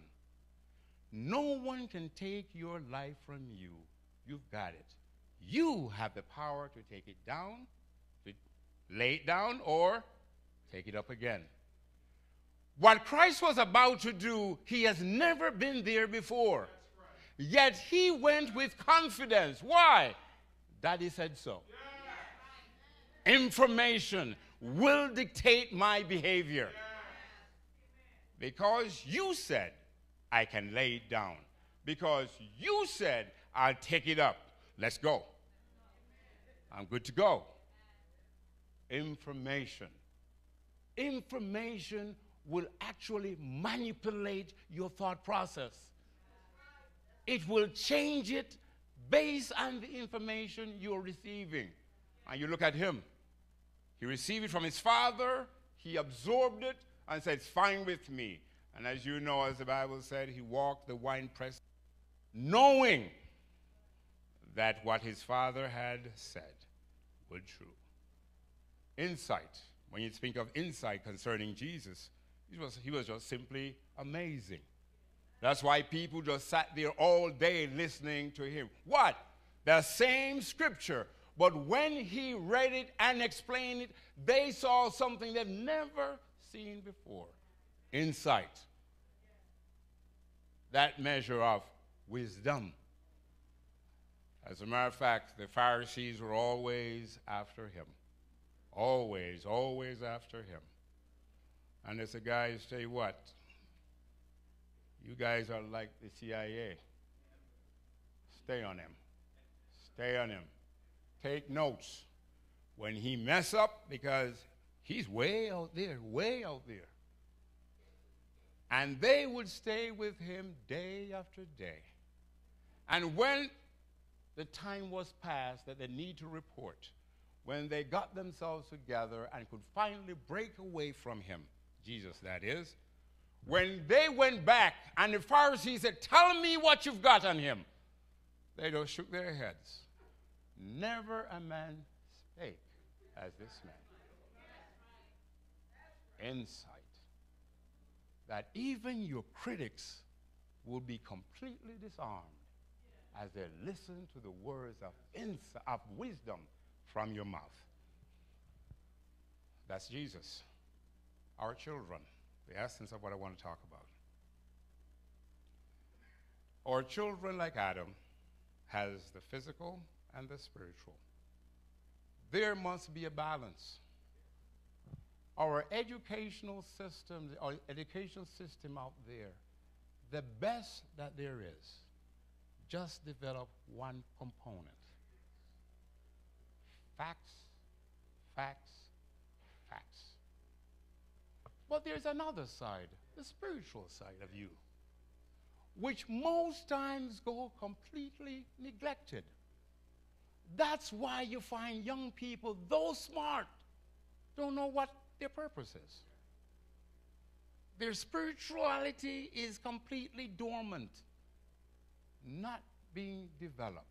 Parents, we have to make sure that what we teach our children addresses both the spiritual and the physical. Our children learn by imitation, information, and insight. Imitation, as I mentioned before, copying and mimic. Your children copy you. It's a dangerous thing, isn't it? Isn't that way? Um, isn't it amazing sometimes when we as adults say something, you hear your dad or your mom saying it all over again? Imitation. Imitation. So, therefore, it becomes very important then how we live among our children. Because without script, they're copying you. Without explanation, they're receiving what you're doing. How do you respond to stress? Is how they will respond to stress. What is your formula for uncoupling your challenges? That too, they observe you very carefully. You know, children watch you when you play, but they watch you when you're stressed. Then the real you shows up. And they know. Dads, are your son respectful? Or let me rephrase this. Will your son be respectful to their wives? See daddy do? I do. Mom, likewise. Even your influence on your sons. You get what I'm driving at? Your influence on your daughters. They are copying us.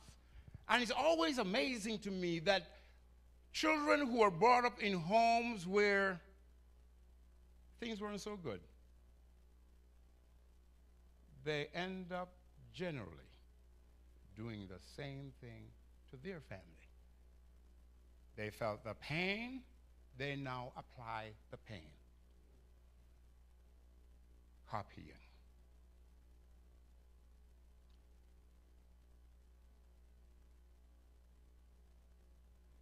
Therefore, where we as parents receive our information is of utmost importance because your children, your children, they learn not only by imitation but also via information. Information. Thus, we need to take the time to teach them. Be deliberate in your teaching process. I will ask you, therefore, what is your source of information to your children? They are absorbing every day.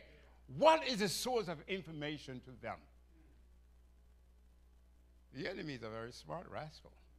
If I can keep mommy and daddy busy, even doing the right thing, that they don't even have time to teach, they mimic without information. And then, but they are always seeking information. There is the television, source of information. They are friends, source of information. Then now we have everything are, they're online, and you watch these kids now. From the little things, they got your phone, they know to do what the phone, and I even know what to do with my phone. They get the iPad, they go where you don't even understand what they're doing. They're there. It's another source of information. Un- unedited, and our childs receive it. As parents, as parents, we must make sure that the information our children receive is of utmost import is of utmost importance because it will shapen their perception of things, how they do things, how they interact with things, how they see the world. Make sure you're teaching them truth, capital T, not small t. Small t, truth, is what the world gives. That T, that truth, is truth mixed with error. As a matter of fact, just think about it. Most of us, we live by the truth they taught us in college, elsewhere, to live a certain life, to gain something. Let me ask you of all the things you have inspired for, for all the dreams you had, yet you use the tools given to you, are you happy with where you are in life? If somebody told you 20 years ago, you'll be right here, right now, in life, doing what you do, will you drink the Kool Aid? You get what I'm driving at. But when we have the right information, we have truth. You can rely on it, and it always will work for you. Always. Always. Now, what children are looking for is what I would consider congruency in behavior and information. By that I mean, there must be agreement with the information that you are giving me with the behavior you're displaying to me. Are you with me? It's not what you are saying. God is good. God provides. Yet when it's difficult, I do not see it in your behavior. I do not see it in your behavior. There must be a, an agreement with both. We must not be schizophrenic in our thinking. We must think in wholeness. And with the information we have given them, it will predicate or have great impact upon their insight, their, in, their, their wisdom, and therefore will have a profound effect upon their decision making. By the way, when you're making a decision, maybe you're not aware of it. To make a decision, your mind will reach back in all the recesses of your mind, your memory, pull all pertinent information, and then you do your quick analysis and you make your decision. If the information you had was of such, I can see your decision. That's why the input is so important because it, it will impact your decision making. That's why God says, spend time with me. As a matter of fact, Jesus gave this parable about the, um, the sower went out to sow about the seed. And he says the seed represents what? The word.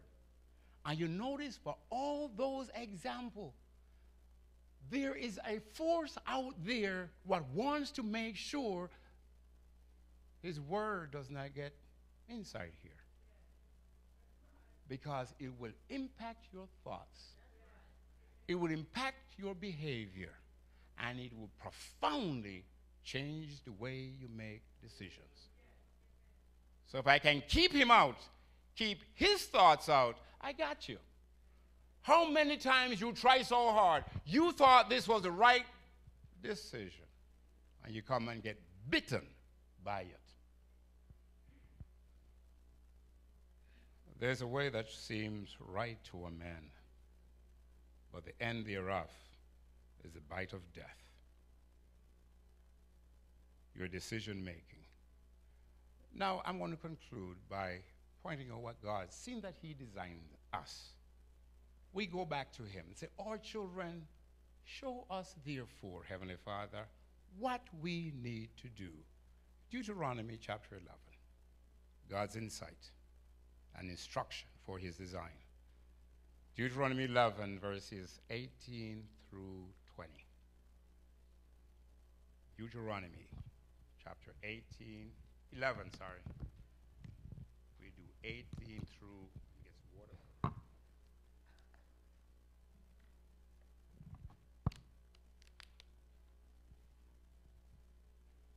Eighteen through twenty.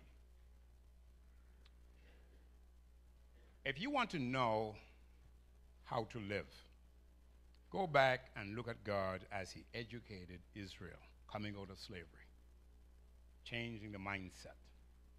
And here he goes.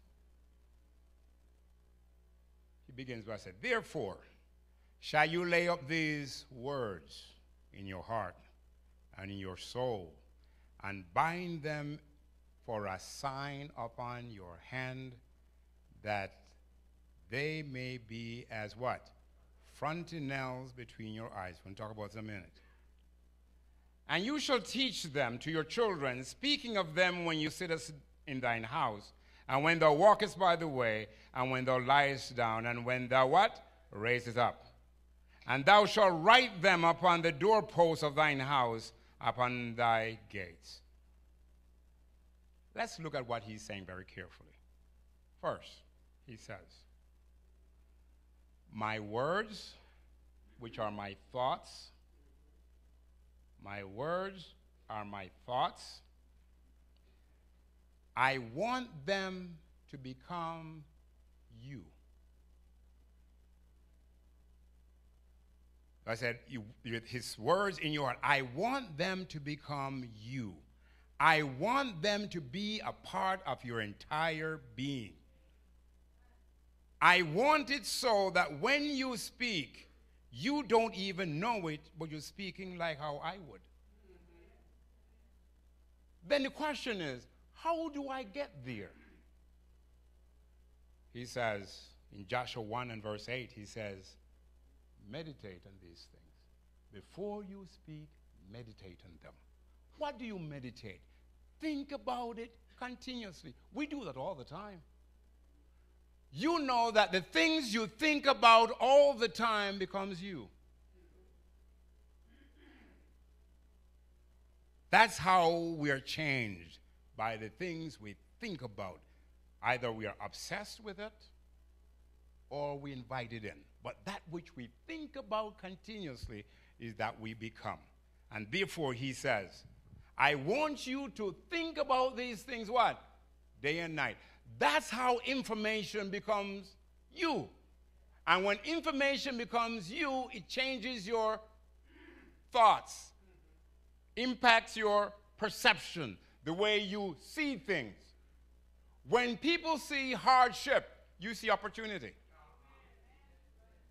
Are you with me? When everybody goes that way, you say, no, no, no, no, no, I'm going that way. Why? I see what they don't. See what I'm getting at? So, God says, meditate on my word. It will change your perception, it will change the way you see things. An amazing thing is, when you change the way you perceive things, yea, the way you look at things, guess what? Everything changes. The world is a different world. Different from you saw yesterday. Yesterday.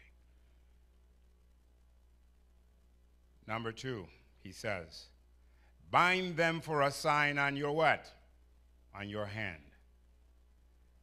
A band on your hand is a constant reminder of what I told you, of what I have been teaching you, making sure your behavior is compliant with what I'm teaching you. Are you with me?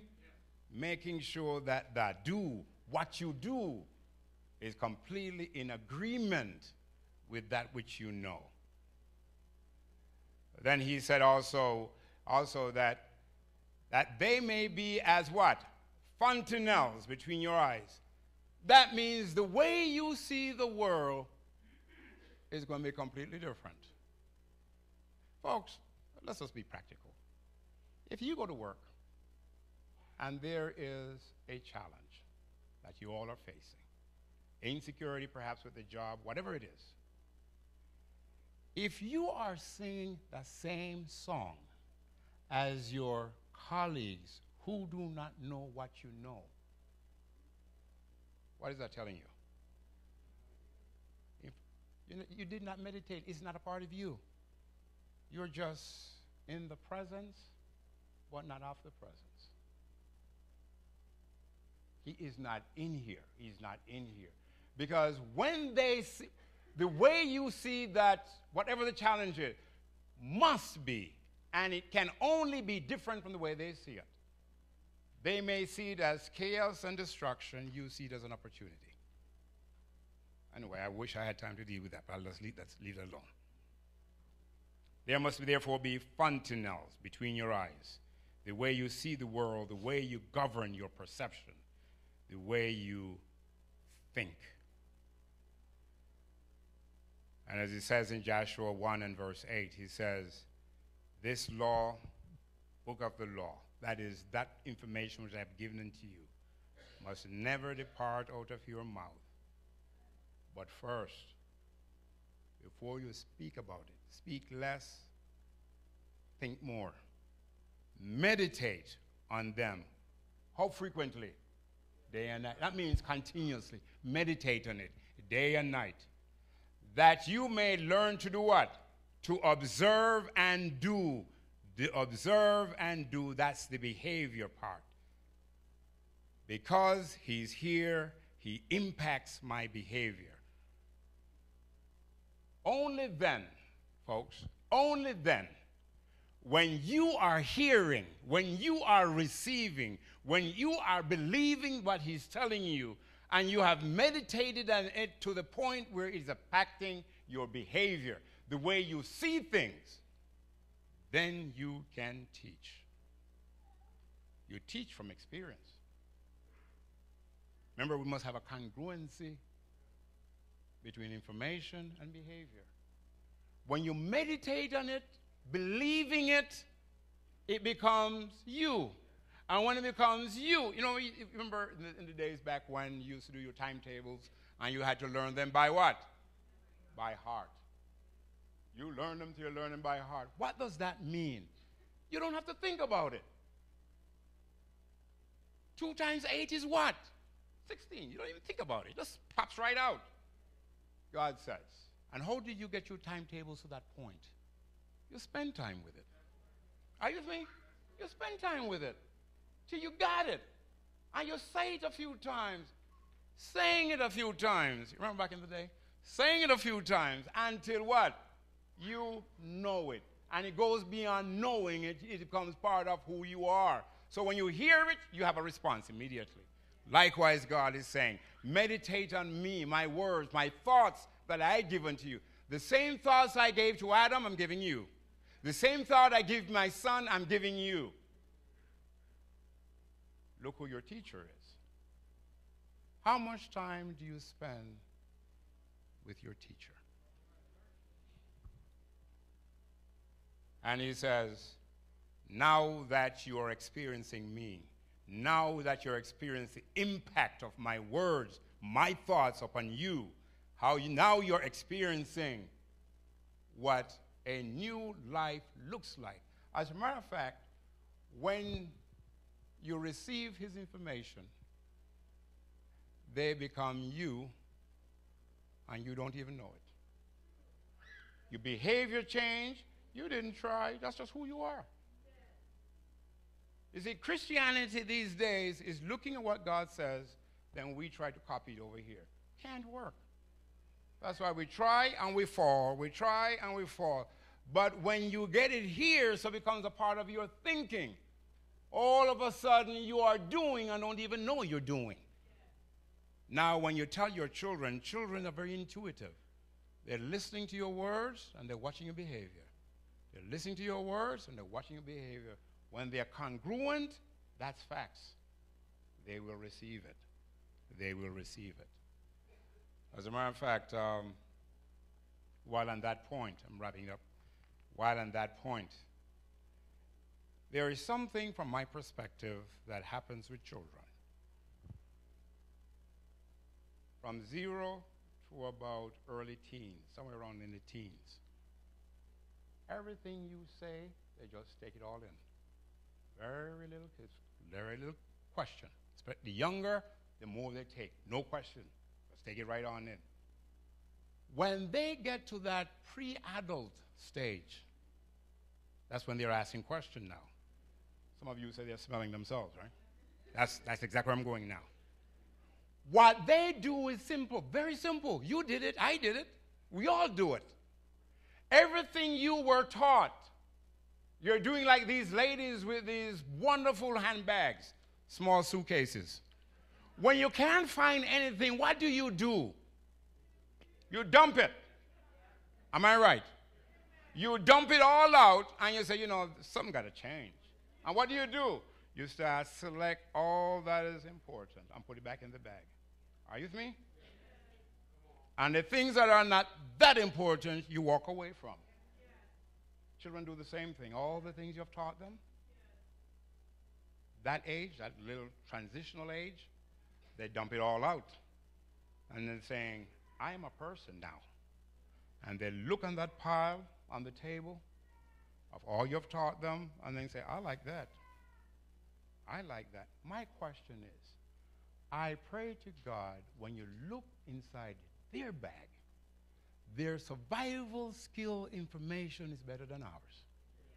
Because we always got a lot of junk in it.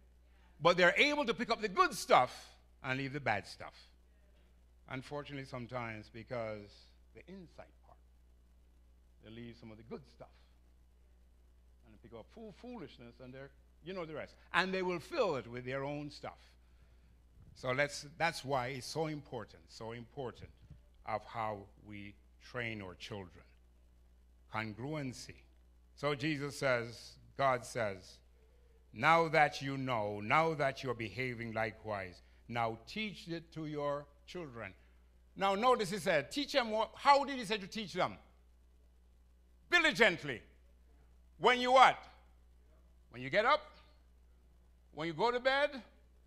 When you walk by the way. By the way, you notice when the children are young, they're with you what?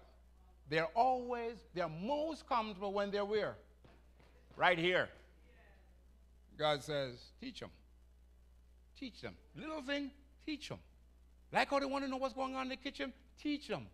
But also, by your behavior and what's important to you, you're saying, oh, God is so good. Talk to me, mommy. Why do you say that? See what I'm getting at? It's in them now because that's where you are. You're not making it up, it's who you are. And he says, they must be hearing these words of wisdom that I have given to you all the time. They are getting, they are seeking information. That information, as you know, as we have said, will mold their thinking, govern their thoughts, and the impact it has on their insight will be absolutely tremendous. Tremendous. Therefore, therefore, he also says, not only do you do it constantly, intentionally, but he also says around the house, put little reminders. It's a doorpost. Little words of wisdom. lifted out of the word. Put it up there. When you look at it, oh, I know what mommy is saying. I know what daddy is saying. They heard it out of your mouth. So when the challenges of life comes, and they now fall back in default, when they fall back in default, default meaning what is naturally you is actually what the essence of what going to make them make the right decision. I remember quite well when I was coming up, I would hear my mom say and dad, God, don't worry about it. God will make a way out of no way. Was, that was not just verbiage. It's something they lived by. I knew it. And therefore, now it has a great impact on who I am. When the challenges come, folks, and we must make sure that we exercise that which we know because God says, educate our children. And how do we educate them? By revealing who we are. It has been said many a times the first God they get to know is us. Some of them have a hard time relating to our Heavenly Father because daddy is, mm, there's things lacking. See I'm getting at? And he has those tremendous God knows that we're not perfect. God knows we have made mistakes. However, may I encourage you to now use the resources that you have. That is, ask for the Holy Spirit, your counselor, to teach you. We always are learning. Remember, that's God's plan to learn continuously. And we said, you know, I am smart enough to know I messed up. Holy Spirit, your kids, you got me. Change me, reveal yourself, teach me, lead me into all truth. And by the way, when he leads you into all truth, I hope you understand the magnitude of that. When he leads you into all truth, every decision you make is the right one. What does that sound like to you? What does that look like to you? So you get connected with the Holy Spirit say, that's why he says, if you lack wisdom, ask of me, and I will give it to you generously through my Holy Spirit. As a matter of fact, the Holy Spirit is in you. That's how God speaks to you. Because it says in John, Jesus says, Everything I want to teach you, I want to tell him, and he will tell it to you. Are you with me? So outside of him, we're needing but not being fulfilled. So even though we may have slipped, God has prepared it so, so that we can begin. And tell you what, when you discover something that makes a difference in your life and you share it with your children, they'll see it and they want to know. The same way, if you find a more efficient way of making money, let's use that. And they look at you, they can see the fruits of it, they want to know. The same way, when they hear and see the impact that the word has, they will want to know. So, your kids are always your kids. And they're always, when do they call you? They're getting older. Mine are getting older. But they're always in my pocket. always. When challenges come that they don't know how to handle it, Dad, they're looking for wisdom. I pray, God, that what comes out of your mouth is not just solving the immediate need, but giving them insight for eternity. May God bless you.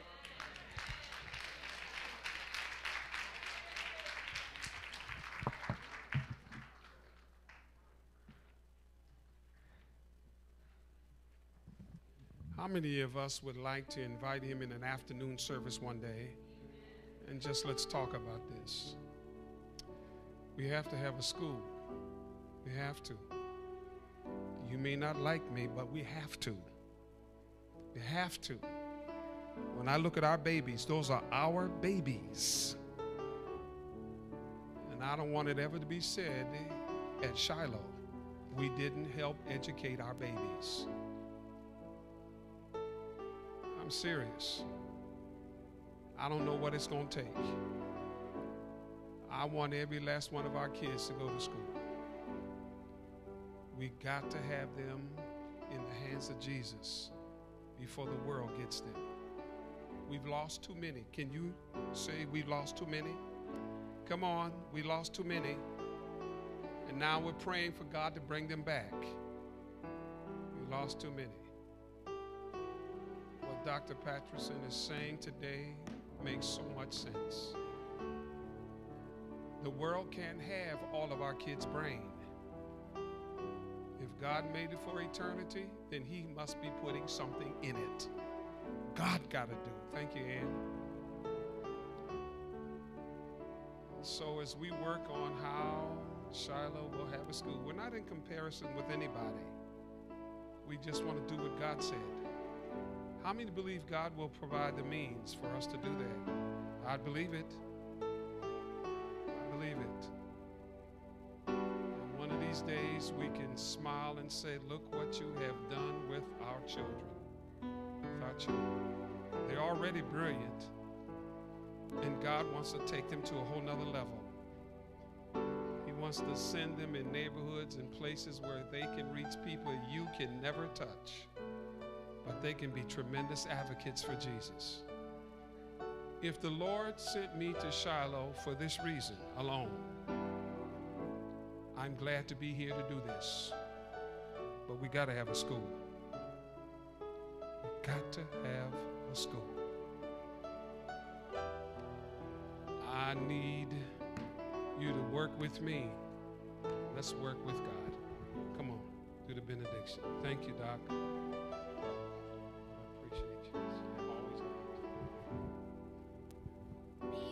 Stand for the benediction?